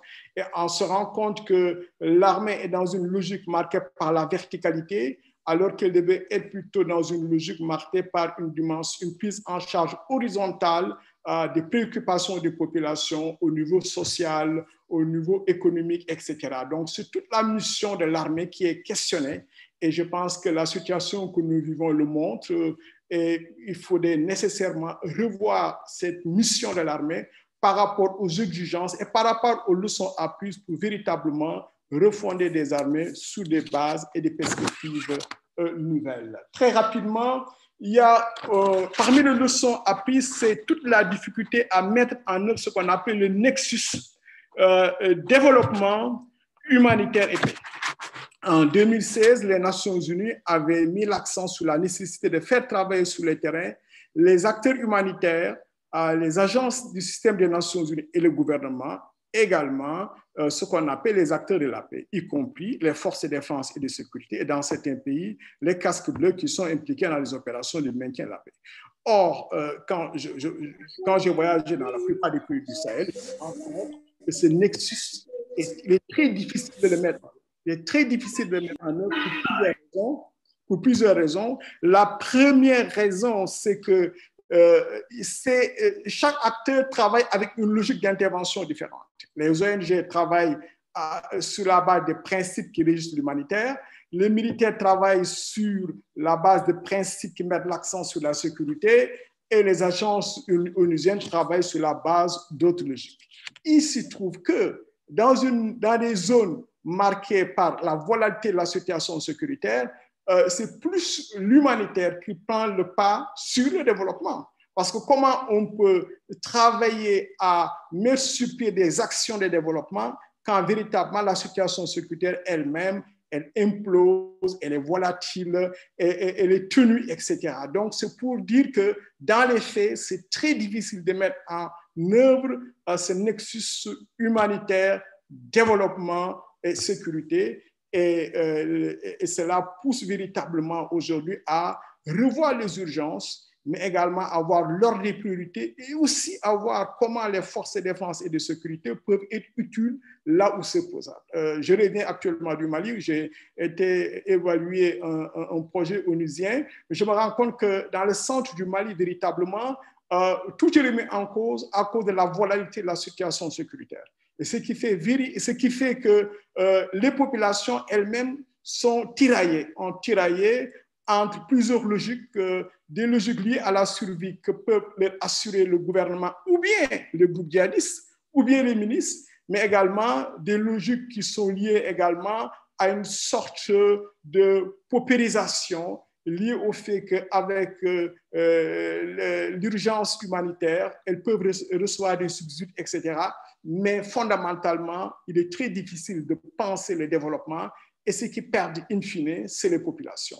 Donc, euh, c'est les populations qui perdent parce qu'il y a quelque chose qui est tangible et qu'on ne parvient pas à régler, c'est l'autorité de l'État. C'est-à-dire qu'on ne peut pas parler de développement si l'État n'existe pas. L'État, à travers euh, ses forces de défense et de sécurité qui constituent ses piliers, ses piliers séculaires, mais en même temps à travers son administration, alors que les FDS ne sont pas partout présents, par exemple dans le delta central du Mali, et que l'administration également est, partie depuis longtemps. Donc il y a un vacuum. Et dans ce vacuum, véritablement, euh, c'est l'humanitaire qui existe, qui existe et que les populations sont euh, dans une situation excessivement difficile. Les vulnérabilités se renforcent et en renforçant, cela crée une situation de, de laisser pour compte des populations par rapport à l'État. C'est exactement dans ces conditions aujourd'hui qu'à Nyono, à Farabougou également, que les populations tentent elles-mêmes de trouver des solutions endogènes à travers des dialogues entre euh, la Katiba Massina, les organisations de chasseurs d'oiseaux, etc. Donc, euh, ça remet en cause toute la perspective, la résolution des conflits euh, communautaires dans un contexte de menaces asymétriques, également repenser le rôle de l'État, des forces de défense et de sécurité. Donc, euh, restaurer l'autorité de l'État est non seulement une exigence centrale aujourd'hui dans le Sahel, mais il faut repenser l'action des forces de défense et de sécurité parce qu'in fine, ce qui se pose est que la crise sahélienne monte et, met en élucidation, ce sont toutes les limites de l'État postcolonial aujourd'hui que nous vivons, dans sa capacité à assurer la sécurité des populations, dans sa capacité à assurer une situation euh, de, paix et de société, une situation de paix, mais également dans sa capacité à refonder les relations entre euh, les civils et les militaires. Je pense que ce colloque que nous menons aujourd'hui à Dakar est l'occasion rêvée de remettre au centre la problématique les populations. En dernière instance, il faudrait permettre aux populations sahéliennes d'être les acteurs du développement, d'être les levains de fermentation d'une Afrique nouvelle, une Afrique qui a besoin d'une autonomie stratégique, une Afrique qui a besoin de retrouver sa souveraineté pour, avoir la pleine mesure de son dessein au plan politique, sécuritaire et humanitaire. Je vous remercie. Merci bien, docteur Gay. Et vous conviendrez qu'avec moi, pour, que pour des débats pareils, il est important d'avoir l'œil de l'expert, cet œil d'objectivité et qui fait des analyses portant sur euh, ce qu'on retrouve sur le terrain. Et je crois qu'il est important, comme vous l'avez fait, de aussi rappeler les limites de la coopération civilo-militaire et aussi de toucher du doigt certains problèmes euh, auxquels euh, on ne parle pas souvent. Et je crois que vous avez parlé aussi des questions de violation des droits de l'homme, qu'il est important en termes de collaboration de prendre en compte pour vraiment voir comment y remédier. Mais vous avez aussi soulevé un aspect qui est important maintenant, c'est la communication. Et je crois qu'on est dans un contexte où, avec les réseaux sociaux, avant, on n'est plus en termes de guerre conventionnelle où c'était entre euh, les militaires, le gouvernement et les groupes armés, mais maintenant, on voit même que la population participe de manière très active et sont au courant de ce qui se passe et peuvent relayer l'information en direct. Ça aussi, je crois que c'est un problème, et comme on le sait au Sahel, comme on l'a dit en Afrique, euh, là, on a une population forte qui est jeune, et qui sont très euh, euh, connectés euh, au, niveau des réseaux sociaux. Ça aussi, c'est un problème qui est là, qu'il faudrait prendre en compte, l'accès à la technologie. Et je crois qu'un autre aspect que vous avez soulevé, c'est les conflits communautaires. Parce que ce n'est plus seulement ces conflits militaires et groupes armés, mais les conflits communautaires qu'il faudrait vraiment, auxquels on devrait porter attention, comme on a vu maintenant dans le Sahel avec euh, les conflits éleveurs-agriculteurs et aussi dans beaucoup de zones où il y a des conflits communautaires. Donc ça, c'est des, problèmes réels et qui prennent du temps euh, pour qu'on puisse euh, trouver des solutions adéquates. Donc, je crois que vous avez soulevé dans votre présentation des problèmes qui méritent un approfondissement. Et on a le général Babi qui est de retour. Et j'espère que la connexion sera bonne cette fois-ci. Et le général Babi, on va prendre de votre temps. Peut-être on va vous donner moins de minutes, mais je vous demanderai d'aller vraiment à l'essentiel, c'est-à-dire des solutions concrètes que vous voulez proposer. Et dans le débat, j'essaierai aussi de vous donner euh, la parole pour que vous puissiez élaborer euh, davantage, si cela vous convient. Merci. C'est parfait, Madame la modératrice. Encore une fois, désolé pour ce petit problème technique. Alors, donc, euh, je disais que trois points fondamentalement, c'est-à-dire voir d'abord euh, la problématique euh, de la vision pour nous assurer que effectivement par rapport aux problèmes de sécurité et les menaces qui sont posées, que nous avons bien une vision au niveau de nos dirigeants, au niveau de la gouvernance pour la sécurité, parce que la sécurité, c'est bien évidemment la priorité fondamentale au niveau des États, la sécurité des populations et leurs biens. Et aujourd'hui, on se rend compte que en termes de vision, il y a parfois beaucoup de faiblesses. Euh, cela a été dit. Quand on regarde au niveau des États, euh, est-ce qu'il y a une politique de défense qui définit clairement euh, les objectifs, la vision au niveau de cet État-là? Ce n'est pas toujours évident. Au niveau de la CDAO, qui est effectivement notre communauté économique régionale, qu'est-ce qui est prévu pour nous en termes de réponse par rapport à l'insécurité que nous vivons au quotidien? Là aussi, les questions restent posées. Ensuite, par exemple, pour le cas du Mali, effectivement, nous sommes en train de travailler sur une politique de sécurité nationale. Euh, ça fait déjà au moins plus de cinq ans.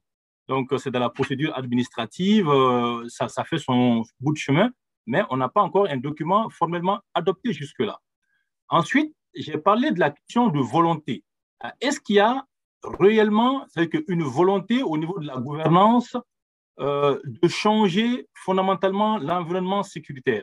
Parce que les menaces, ça a été dit, euh, il s'agit de l'action des groupes terroristes, voilà, une situation insurrectionnelle, une menace qui est transnationale, une menace effectivement qui est dans la stratégie indirecte avec effectivement l'asymétrie euh, qui amène une difficulté où les populations effectivement euh, sont prises entre le feu des groupes terroristes, entre les feux effectivement des forces parfois, voilà, avec des situations qui ont été évoquées, qui restent à être clarifiées, avec des enquêtes qui ont été ouvertes ici ou là. Ensuite, par rapport à la question euh, de la collaboration ou de la coopération des forces de défense et de sécurité, la question des relations euh, civilo-militaires, il y a effectivement même la question des vecteurs, les, différents acteurs de, l'État à ce niveau. Il faut se poser la question, est-ce que la formation des acteurs est une formation assurée? Est-ce que les compétences sont disponibles tout le temps? Comme cela a été dit par le professeur Diallo dans sa conférence inaugurale, effectivement, il ne s'agit pas seulement d'exprimer une volonté de résultat, il faut se donner les moyens techniques pour pouvoir arriver à ces résultats-là. Parfois, la difficulté est là. Ce qui est sûr, c'est qu'il y a des difficultés qui sont observées au niveau de la coordination, au niveau de la coordination, que ce soit au niveau de la coopération entre les forces de défense et de sécurité, que ce soit dans les, que ce soit dans relations civilo-militaires, il y a aussi parfois un problème de connaissance et d'expertise qui est posé. Par exemple, si j'essaie de regarder euh, au niveau national au Mali, par exemple, la dernière opération, c'est l'opération Maliko, euh, qui est une opération qui a été montée dans le cadre de l'approche globale, une stratégie globale et interministérielle, effectivement, avec les rôles des différents piliers de l'État. Il, se trouve que l'État final recherché avec les objectifs de cette opération, c'était effectivement d'essayer de changer les perceptions au niveau des populations. Il y a pas mal d'actions à ce niveau qui étaient prévues, mais force est de constater que dans le dialogue avec le politique et le militaire, euh, tous ces aspects n'ont pas pu être mis, n'ont pas pu être mis en œuvre dans un calendrier souhaité. Ce qui fait que quand l'opération a été lancée, d'abord les ressources qui étaient dédiées à un certain nombre d'actions à l'endroit des populations n'ont pas été obtenues tout de suite.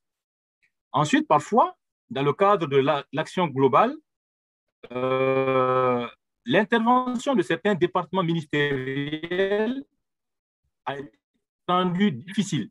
L'intervention de certains départements ministériels a été rendue difficile parce que euh, certains ministères, effectivement, qui peuvent prendre en charge certains aspects sur le théâtre des opérations Maliko, euh, il y a eu une difficulté. La, bureaucratie, la réticence de certains, leur incompréhension du fait que ce soit une approche globale qui nécessite un travail interministériel, les gens qui n'ont pas les compétences pour travailler dans cette dynamique, ou plutôt euh, à rester dans les domaines techniques renfermés dans leur département.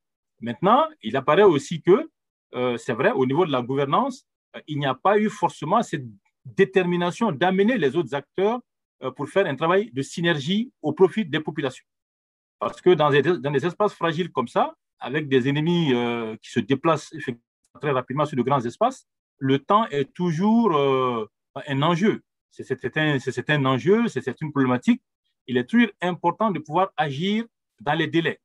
Et, malheureusement, parfois, euh, ces problèmes de coordination n'arrivent pas à se faire. Certains l'ont dit, effectivement, euh, qui est le chef, euh, quelle est la stratégie, quels sont les objectifs, quel est le, niveau où on centralise tout ça. tout cela, ce, n'est pas toujours très, très, très clair. Et dans un environnement complexe comme celui-là, effectivement, on a besoin d'avoir un cadre de travail qui fasse converger les efforts des uns et des autres. Et là, malheureusement, ce n'est pas toujours le cas.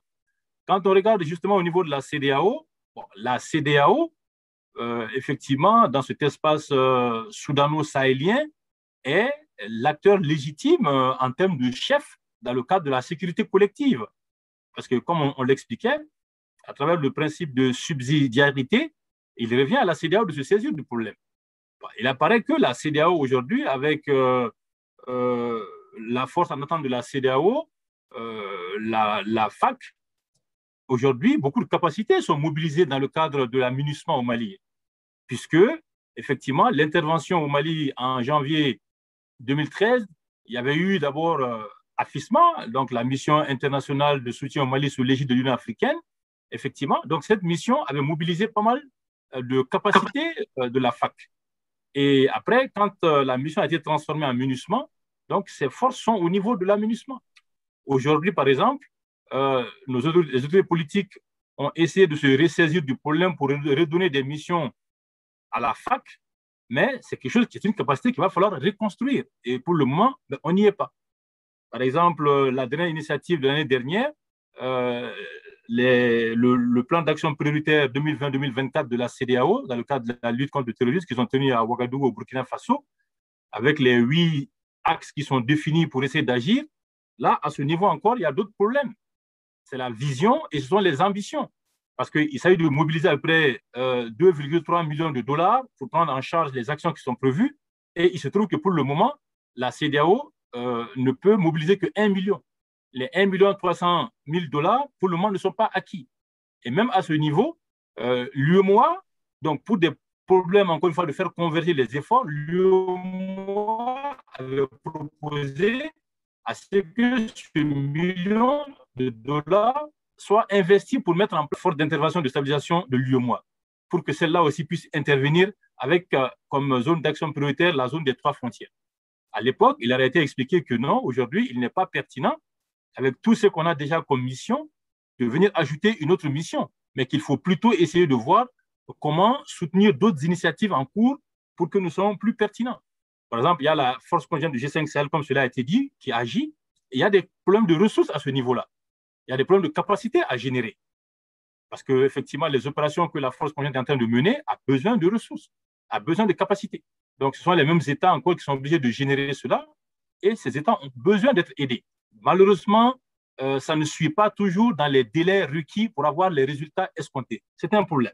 Quand on regarde les autres acteurs, la force Barkhane, la euh, effectivement, ensuite, euh, voilà, à ce niveau aussi, cela a été dit, la dernière région de Djamena, on est revenu sur le besoin d'améliorer la coordination. C'est une difficulté. C'est une difficulté, donc c'est un problème sur lequel, effectivement, les acteurs doivent continuer à travailler il y a aussi, euh, parce que parfois des situations euh, pratiques peuvent se poser sur, le terrain qui montrent vraiment qu'il y a des difficultés. Parfois, la qui a des vecteurs de transport, malgré les arrangements en amont, des troupes maliennes qui devaient être déployées sur des terrains ne le sont pas. Parce qu'à un moment donné, pour des plans de procédure, quelqu'un pense qu'il y a quelque chose qui manque, et donc les troupes restent là à stationner. Et, donc la, mission n'arrive pas à se faire. Ou quand des camps sont attaqués et qu'on demande des soutiens d'urgence par rapport à des protocoles. Donc il y a ces difficultés de coordination sur le terrain. Aujourd'hui, ce qui est sûr, c'est qu'il va falloir effectivement trouver une meilleure euh, vision, un meilleur cadre d'action pour faire converger les efforts. Parce que trop d'initiatives, euh, au bout de mois, ça devient difficile. Parce qu'avec toutes les forces, les missions qu'on a, l'UITM aussi, l'UITM aussi, qui est une mission qui a eu des réussites au début, mais aujourd'hui, le niveau d'entraînement dont les forces effectivement ont besoin, l'UITM n'arrive pas toujours à opérer à ce niveau-là. Donc, et a du mal aussi à s'adapter. Donc, tout ça, ça joue sur l'efficacité et les résultats sur le terrain. Sinon, euh, il y a d'autres initiatives qui existent, il y a d'autres qui se mettent en place. Il y a le processus de Nouakchott. récemment, il y a quelques mois, il y a eu la création de l'initiative Dakar. Donc, ça fait beaucoup de choses qui se chevauchent et qui rendent difficile la coordination. Comme quelqu'un a dit, il, est évité, il, faut, il faut éviter euh, qu'on aille vers des systèmes où on ne se retrouve pas. Finalement, on se fatigue et on s'enlise. Mais maintenant, euh, pour sortir de toute cette situation, effectivement, nous pensons qu'il est extrêmement important qu'au niveau de la gouvernance, il y ait ce leadership qui soit affiché pour que les objectifs soient définis clairement, effectivement, et que le chef soit bien connu. Et que les gens se retrouvent autour d'un cadre de travail et amener les gens à adhérer à cela. Euh, certains l'ont dit, le partenaire extérieur qui vient, il a certainement les moyens et certaines capacités dont la région a besoin, dont certains États ont besoin, notamment les États en crise, mais il faut accepter d'être humble et d'accepter de s'inscrire effectivement dans un programme. Et ce n'est pas toujours le cas.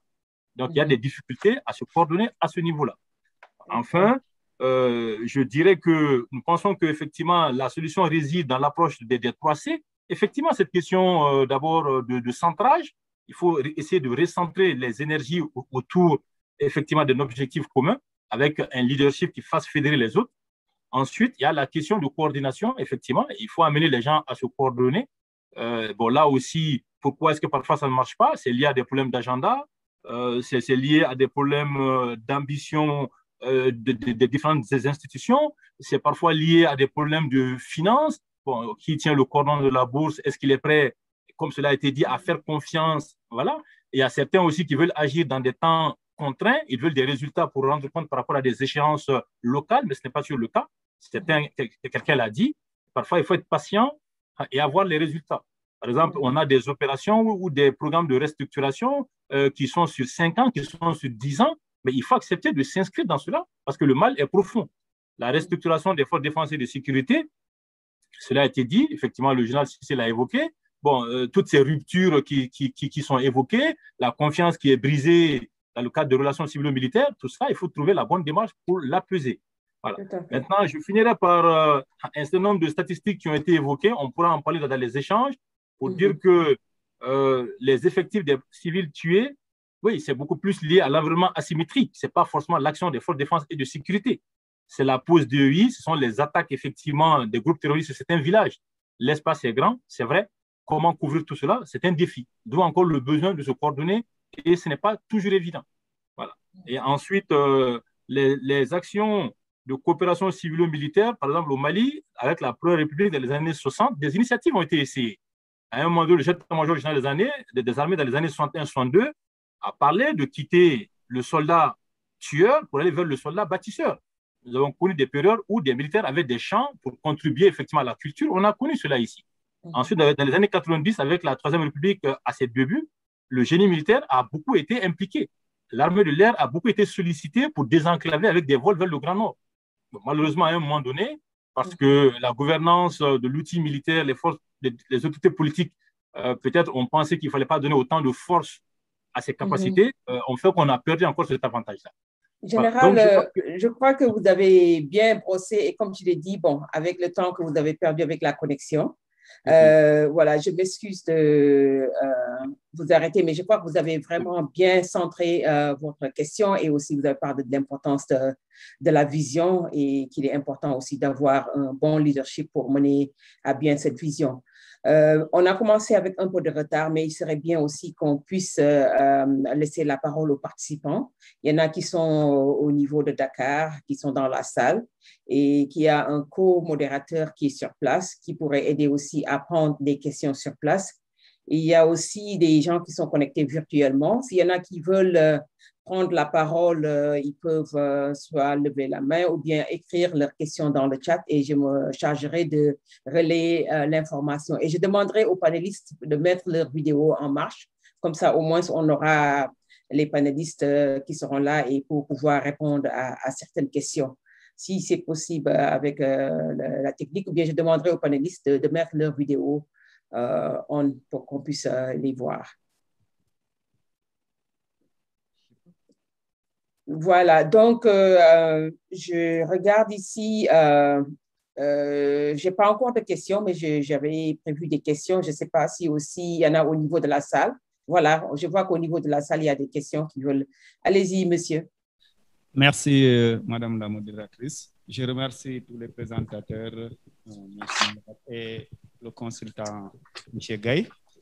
vouloir juste aller vers l'essentiel, je veux voir comment on doit repositionner ou positionner la société civile euh, dans les relations civilo-militaires pour une meilleure gouvernance dans l'espace sécuritaire. Parce que le général Sissé l'a rappelé, il y a une crise de confiance, une méfiance entre acteurs civils et acteurs militaires liés à mm-hmm. beaucoup de questions qui, sont déjà documentées euh, au Mali, au Burkina, par euh, des études comme ISS, les populations trouvent que les militaires tuent plus que les djihadistes. Comment arriver à bâtir une approche, une approche inclusive qui doit faire intervenir aussi bien les acteurs civils et les acteurs militaires dans la résolution donc, de cette crise-là.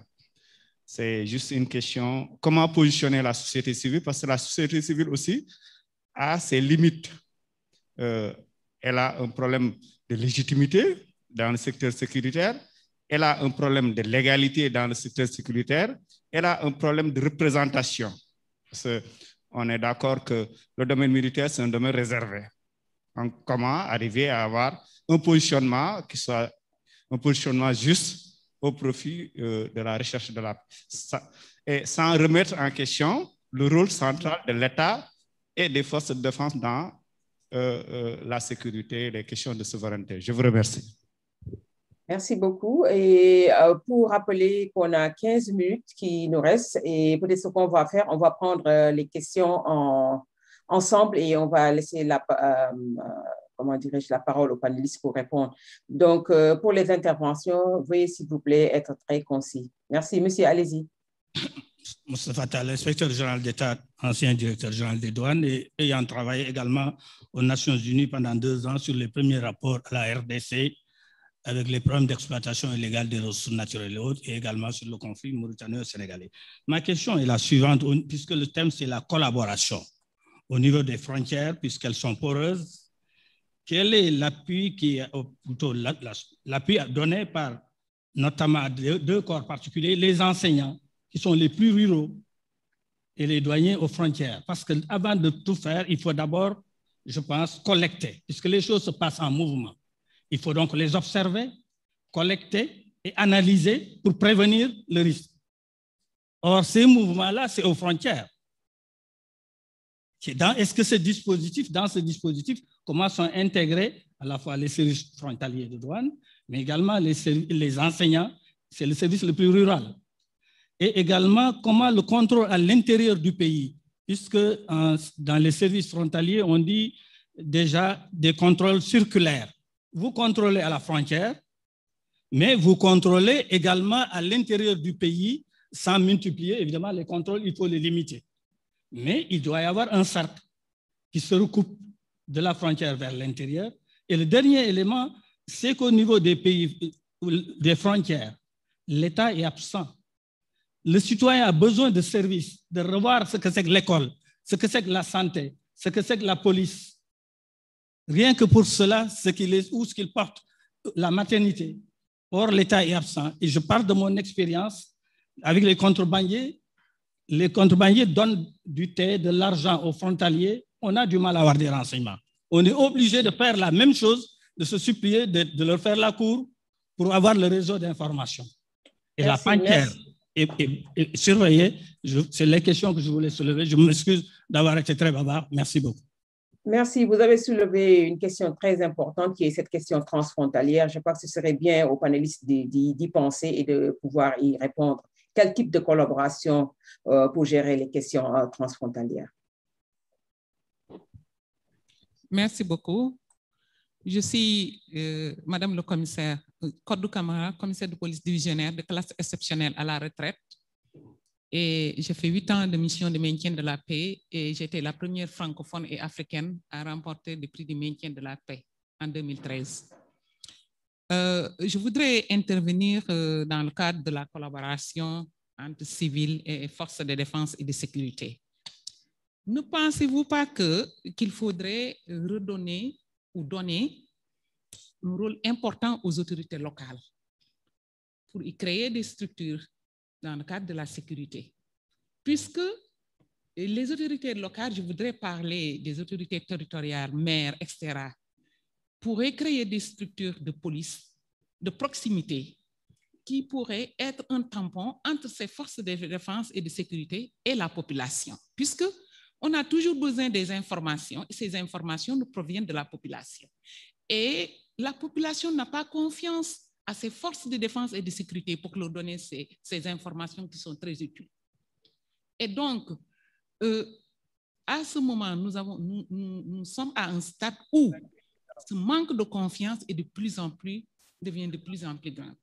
Or, que pour régler ce problème, il faudrait qu'il y ait une police préventive il faut réfléchir à cette, à cette structuration qu'on devrait peut-être mettre dans les collectivités territoriales, locales, pour que ça serve, euh, de, pour que ces, ces, cette police de proximité puisse collaborer, collaborer avec la police, la gendarmerie et même avec l'armée.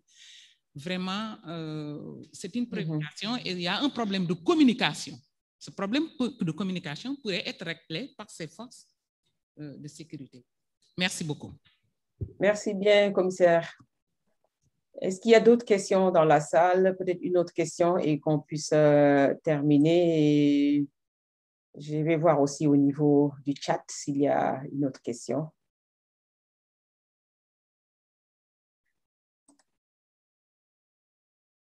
Voilà, on va prendre une dernière question dans la salle et on va revenir à une question qui est posée dans le chat et on va laisser euh, la parole aux panélistes. Euh, monsieur, soyez concis, s'il vous plaît. Merci. Ok, c'est Nimaga Moussa.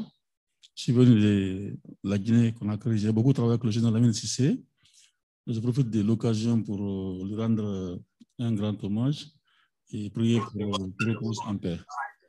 Et par rapport à la situation qui est posée, moi, j'ai quand même du mal d'abord à distinguer dans cet espace entre d'abord les civils, qui est civil dans cet espace, et aussi, comme disait tout à l'heure Madame la commissaire, je pense qu'il faut aller eh, vers le renforcement des dialogues entre les communautés à la base et entre elles d'abord, et puis crescendo, venir jusqu'au niveau national et puis au niveau euh, sous-régional. Donc, mais si on commence toutes les décisions viennent de la haut vers le bas, alors les gens ne se retrouvent pas dans ce qui est décidé. Souvent, les, décisions sont prises euh, dans, au niveau des sommets qui s'organisent à l'international. Après, les communautés sont surpris de voir euh, que des choses se décident à leur place. Donc, je pense qu'il faut revenir à la base, décider, et puis, au fur et à mesure, on met cette initiative en marche. Donc, moi, je propose qu'on aille du bas, en haut dans la proposition de, solutions. Je vous remercie. Merci beaucoup, M. Nimaga. Et je vais prendre ici la dernière question dans le chat. Il y a M. Elage qui dit que le pari de l'usure évoqué par le général euh, Boutuno demeure un souci majeur au Sahel. En fait, cela prendra plus de temps aux forces de défense et de sécurité pour se réadapter à la menace qu'aux groupes djihadistes de semer le désarroi. Comment prioriser la réponse? Et il y a une autre question du général Laurent Amoussou qui dit Il me semble que tout est à, tout est à faire, tout est affaire de confiance entre forces de défense et de sécurité et les civils. Comment créer un climat de confiance pour que les échanges d'informations soient crédibles et sans crainte? Je vais passer la parole euh, aux panélistes et je vais demander à chaque panéliste de prendre deux minutes pour essayer de répondre. On est, il y a cinq panélistes, donc deux minutes, ça veut dire que dix minutes pour qu'on puisse terminer parce qu'on est au-delà du temps. Et donc, on va commencer par euh, ce qu'on avait, comme on avait fait au début. On va commencer par le général Boutineau, ensuite le général Clément Bollet, le général Sissé, et on va revenir au général Babi et au docteur euh. Général Boutineau, vous avez la parole, s'il vous plaît. Merci, merci, professeur. Je vais essayer d'être très, synthétique. En fait, ce que vous posez tous à travers toutes ces questions, c'est comment on arrive à tout faire quasiment en même temps dans un espace qui est immense. C'est-à-dire comment on réconcilie la population locale avec les forces de défense et de sécurité, comment on protège les frontières pour faire en sorte que la, l'autorité de l'État soit restaurée dans les frontières, comment on protège ceux qui sont les acteurs, les vecteurs de l'autorité de l'État, c'est-à-dire les douaniers, les, enseignants, etc. Donc, ça, c'est la, vraie difficulté. C'est ce que j'ai essayé d'expliquer dans, mon, dans mon propos liminaire en disant, attention, il faut tout faire en même temps et comme on n'y arrive pas, parce qu'on n'y arrivera jamais, c'est la, la, la, réalité, il faut aussi le dire, euh, il faut faire en sorte que le, la, comment dire, la bataille du récit ne tourne pas en faveur de ceux qui sèment le désordre. Et chaque fois, alors je, pèse mes mots parce qu'il faut être très prudent dans ce qu'on dit, chaque fois qu'on a des gens qui attaquent les forces de sécurité internationales, chaque fois qu'on a des gens qui critiquent les forces de défense et de sécurité, si elles font quelque chose de mal, il faut que les responsables soient identifiés et soient sanctionnés. Ça, c'est l'application de la loi. Et ce n'est pas aux acteurs internationaux de changer la loi des pays du Sahel, c'est aux Sahéliens de définir les règles qu'ils souhaitent voir appliquées et ensuite à la société civile de faire pression pour que ces règles soient mises en œuvre. Ça, c'est la première des choses. Mais il faut faire très attention quand on commence à dire oui, il y a eu telle exaction, etc. Les djihadistes, ils tuent tous les jours des centaines de gens qui étaient totalement désarmés, simplement pour faire du bilan et semer la terreur. Et ça, je trouve que c'est beaucoup moins, c'est beaucoup moins dénoncé, comme si c'était devenu, en fait, si vous voulez, le fond de la, de la communication internationale. Bah, il y a eu encore un village, un, bus qui rentrait d'un marché qui a, été, qui a été incendié avec les gens qui sont morts à l'intérieur, etc. Bon, donc, il faut faire très attention. Et puis, pour terminer, et c'est ça le point, la communauté internationale est venue insister depuis au moins 30 ans sur le fait qu'il fallait respecter les droits de l'homme. Alors, le point focal, c'était par rapport aux alternances démocratiques. Aujourd'hui, cette, démocratie doit, descendre et doit infuser dans les forces de sécurité. Moi, je suis appartiens à un pays dans lequel, quand un gendarme m'arrête au bord de la route, je ne crains pas pour ma vie. Je sais qu'il va me demander des, des, des, justifications si j'ai conduit trop vite ou pas ou quoi. Si je suis correct avec lui, si je réponds tout à fait normalement, je ne crains rien pour ma vie. C'est ça qu'il faut installer. C'est ça qu'il faut instaurer dans les forces de défense et de sécurité. Si vous voulez être respecté, soyez respectable. Et ça, ça passe par le respect des droits humains, partout où on arrive. Et le respect des droits humains, et c'est ça le plus difficile pour les forces militaires, c'est y compris respecter l'ennemi. Quand on a réussi à arrêter un ennemi, on ne l'exécute pas. On le transmet aux autorités civiles, il est jugé et il est puni judiciairement pour ce qu'il a fait. Il n'est pas exécuté sommairement en, marge du village. Mais tout ça, c'est un changement de culture et ce sera le plus difficile. je m'arrête là. Je ne sais pas si j'ai répondu tout à fait à vos questions, mais ça, ça demande avant tout un changement profond d'appréhension de la relation qui est entre le soldat, le militaire, le douanier, le policier, le gendarme et le citoyen une personne qui, participe à la sécurité d'un pays, elle est investie d'un pouvoir, mais elle est aussi investie d'une responsabilité. Et si elle enfreint sa responsabilité ou si elle ne va pas jusqu'au bout de sa mission, elle doit en, référer devant la justice de son pays. Ça, c'est la règle du jeu. C'est à vous, les Sahéliens, à mettre en place les règles du jeu et à les faire appliquer. Ce n'est pas à la communauté internationale de le faire parce qu'elle elle doit respecter la souveraineté de chacun des États, qu'ils soient d'Afrique ou qu'ils soient d'ailleurs. Voilà, je vous remercie. Merci, euh, Général Boutino. Vous avez été très concis. Je vais demander encore aux panélistes d'être encore plus précis parce qu'il y a les techniciens qui doivent rejoindre euh, la grande salle. C'est vrai qu'on a commencé avec un peu de retard, mais je vous demanderai d'être précis dans vos réponses et peut-être euh, une minute si c'est possible. Merci. Alors, c'est à moi et je vais essayer de respecter votre minute. Ce sera quand même un peu difficile. moi, je remarque que dans toutes ces questions qui ont été posées, il y a finalement en filigrane une entité qui est toujours citée ou pas citée, en tout cas elle est citée en creux, et qui est toujours remise en cause, c'est l'État. Et il me semble que dans la situation, dans la crise sahélo-saharienne, euh, on confond euh, la cause et la conséquence. tout le monde parle de la crise djihadiste, enfin du terrorisme djihadiste. Euh, ce n'est finalement qu'une conséquence. Si on se focalise sur la cause et qu'on est tous d'accord sur la cause, je crois que ça a été dit par plusieurs personnes et ça a été posé dans les questions, la cause, c'est le vide d'État. Il n'y a plus d'État. Les missions régaliennes ne sont plus assurées. Les populations sont abandonnées. Il n'y a plus de police, il n'y a plus de gendarmerie, il n'y a plus de préfet, il n'y a plus de... etc. Euh, on ne peut pas en vouloir à des villages Dogon, à des villages euh, Bambara, à, des euh, villages Peul de se constituer des forces personnelles pour protéger les populations, leur propre population. Et on crée des milices, qui est toujours une très très mauvaise solution parce que les gens ne sont pas du tout formés à ça. Et moyennant quoi, c'est comme ça qu'on réinvente des, tensions intercommunautaires qui sont extrêmement dommageables. Donc pour moi, la seule réponse, c'est l'État. L'État doit reprendre sa place, l'État doit euh, euh, reprendre ses missions euh, régaliennes, l'État doit assurer ses missions régaliennes. Et finalement, ouais, j'en reviens à, la première question que j'avais posée, quand je disais qui est le chef Le chef, il me semble que dans l'espace sahélo-saharien, c'est l'État. Et l'État doit reprendre et être aidé par les acteurs extérieurs, reprendre sa place, repositionner sa place et assumer toute sa place. Merci beaucoup. Général Cissé. Merci beaucoup. Euh, bon, comme on... Oui, je pense, vous m'entendez, oui, euh, moi, je consacrerai donc ma minute à une ou deux questions. Euh, quelqu'un qui parle de comment repositionner la société civile.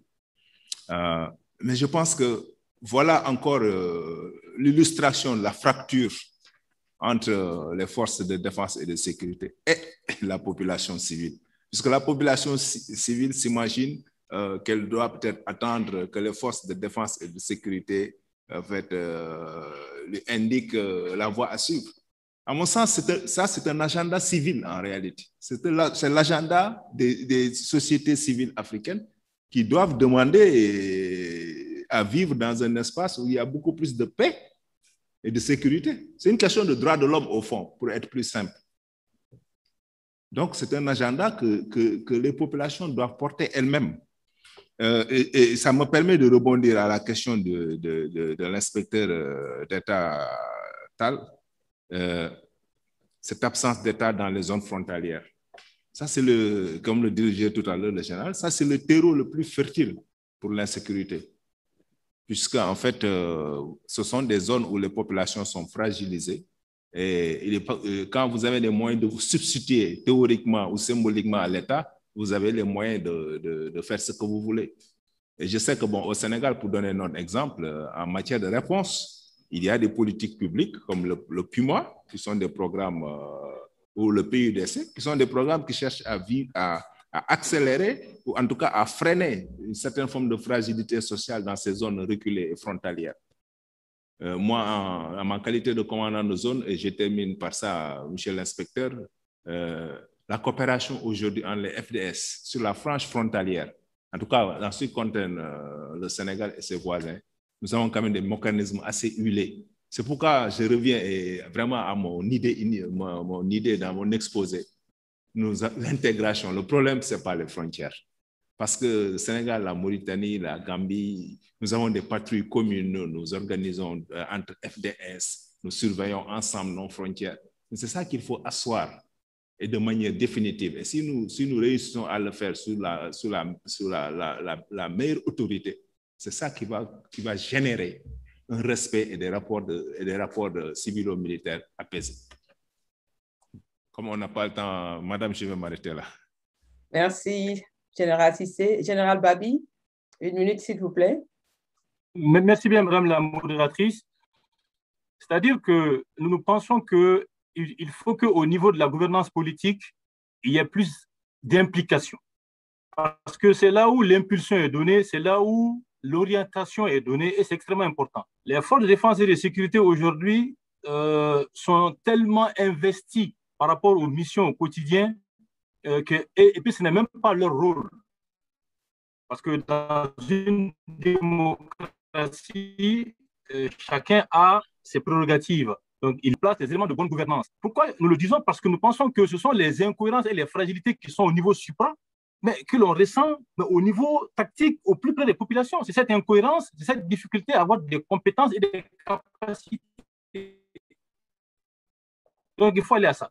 Sinon, il y a des politiques en place pour renforcer effectivement euh, le travail au niveau des frontières. Dans le cadre du plan d'action prioritaire de la CDAO, sur les huit axes, il y a un axe qui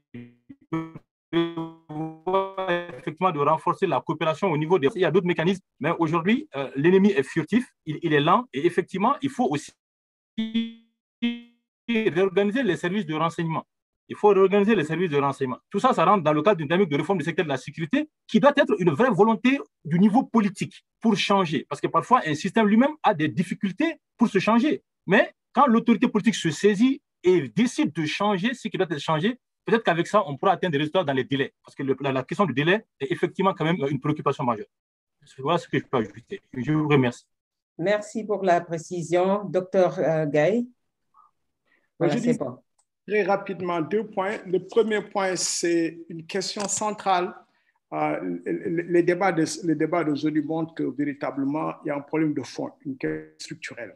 C'est la question de l'État, l'État postcolonial, qui a atteint ses limites dans le cadre de sa manière de gouverner, dans symbolisé par une verticalité entre cet État et le reste de la population, incarné également par des structures, cela débouche sur une approche répressive et cela a atteint ses limites. Il va sans dire que pour refonder les relations entre les FDS et les populations, il faut structurellement repenser la question de l'État postcolonial. On n'a pas le temps d'y entrer. Deuxième élément, euh, dans mon exposé, j'ai parlé des violations commises par les forces de défense et de sécurité. Euh, cela ne veut pas dire que je veux excuser les djihadistes, loin de là. Il faut dénoncer toutes les formes de violation des droits de la personne. C'est très important et je m'arrête là. Merci bien à tous les panélistes. Vraiment, c'était un débat très riche, des présentations très pertinentes avec des données à l'appui. Et merci aussi pour les participants qui sont à Dakar et aussi pour tous ceux qui nous ont joints virtuellement. C'est un très grand plaisir euh, pour moi d'avoir euh, modéré ce panel. Et comme vous l'avez vu, c'est un sujet d'actualité qui peut même faire l'objet d'un colloque. Mais je crois qu'ici, on a vraiment pu euh, faire sortir les éléments qu'il faut. Et nous disons aussi un grand merci au CHED pour l'accueil de ce panel et à tous les organisateurs. Un très grand merci et on se dit à très bientôt. Au revoir. Merci encore.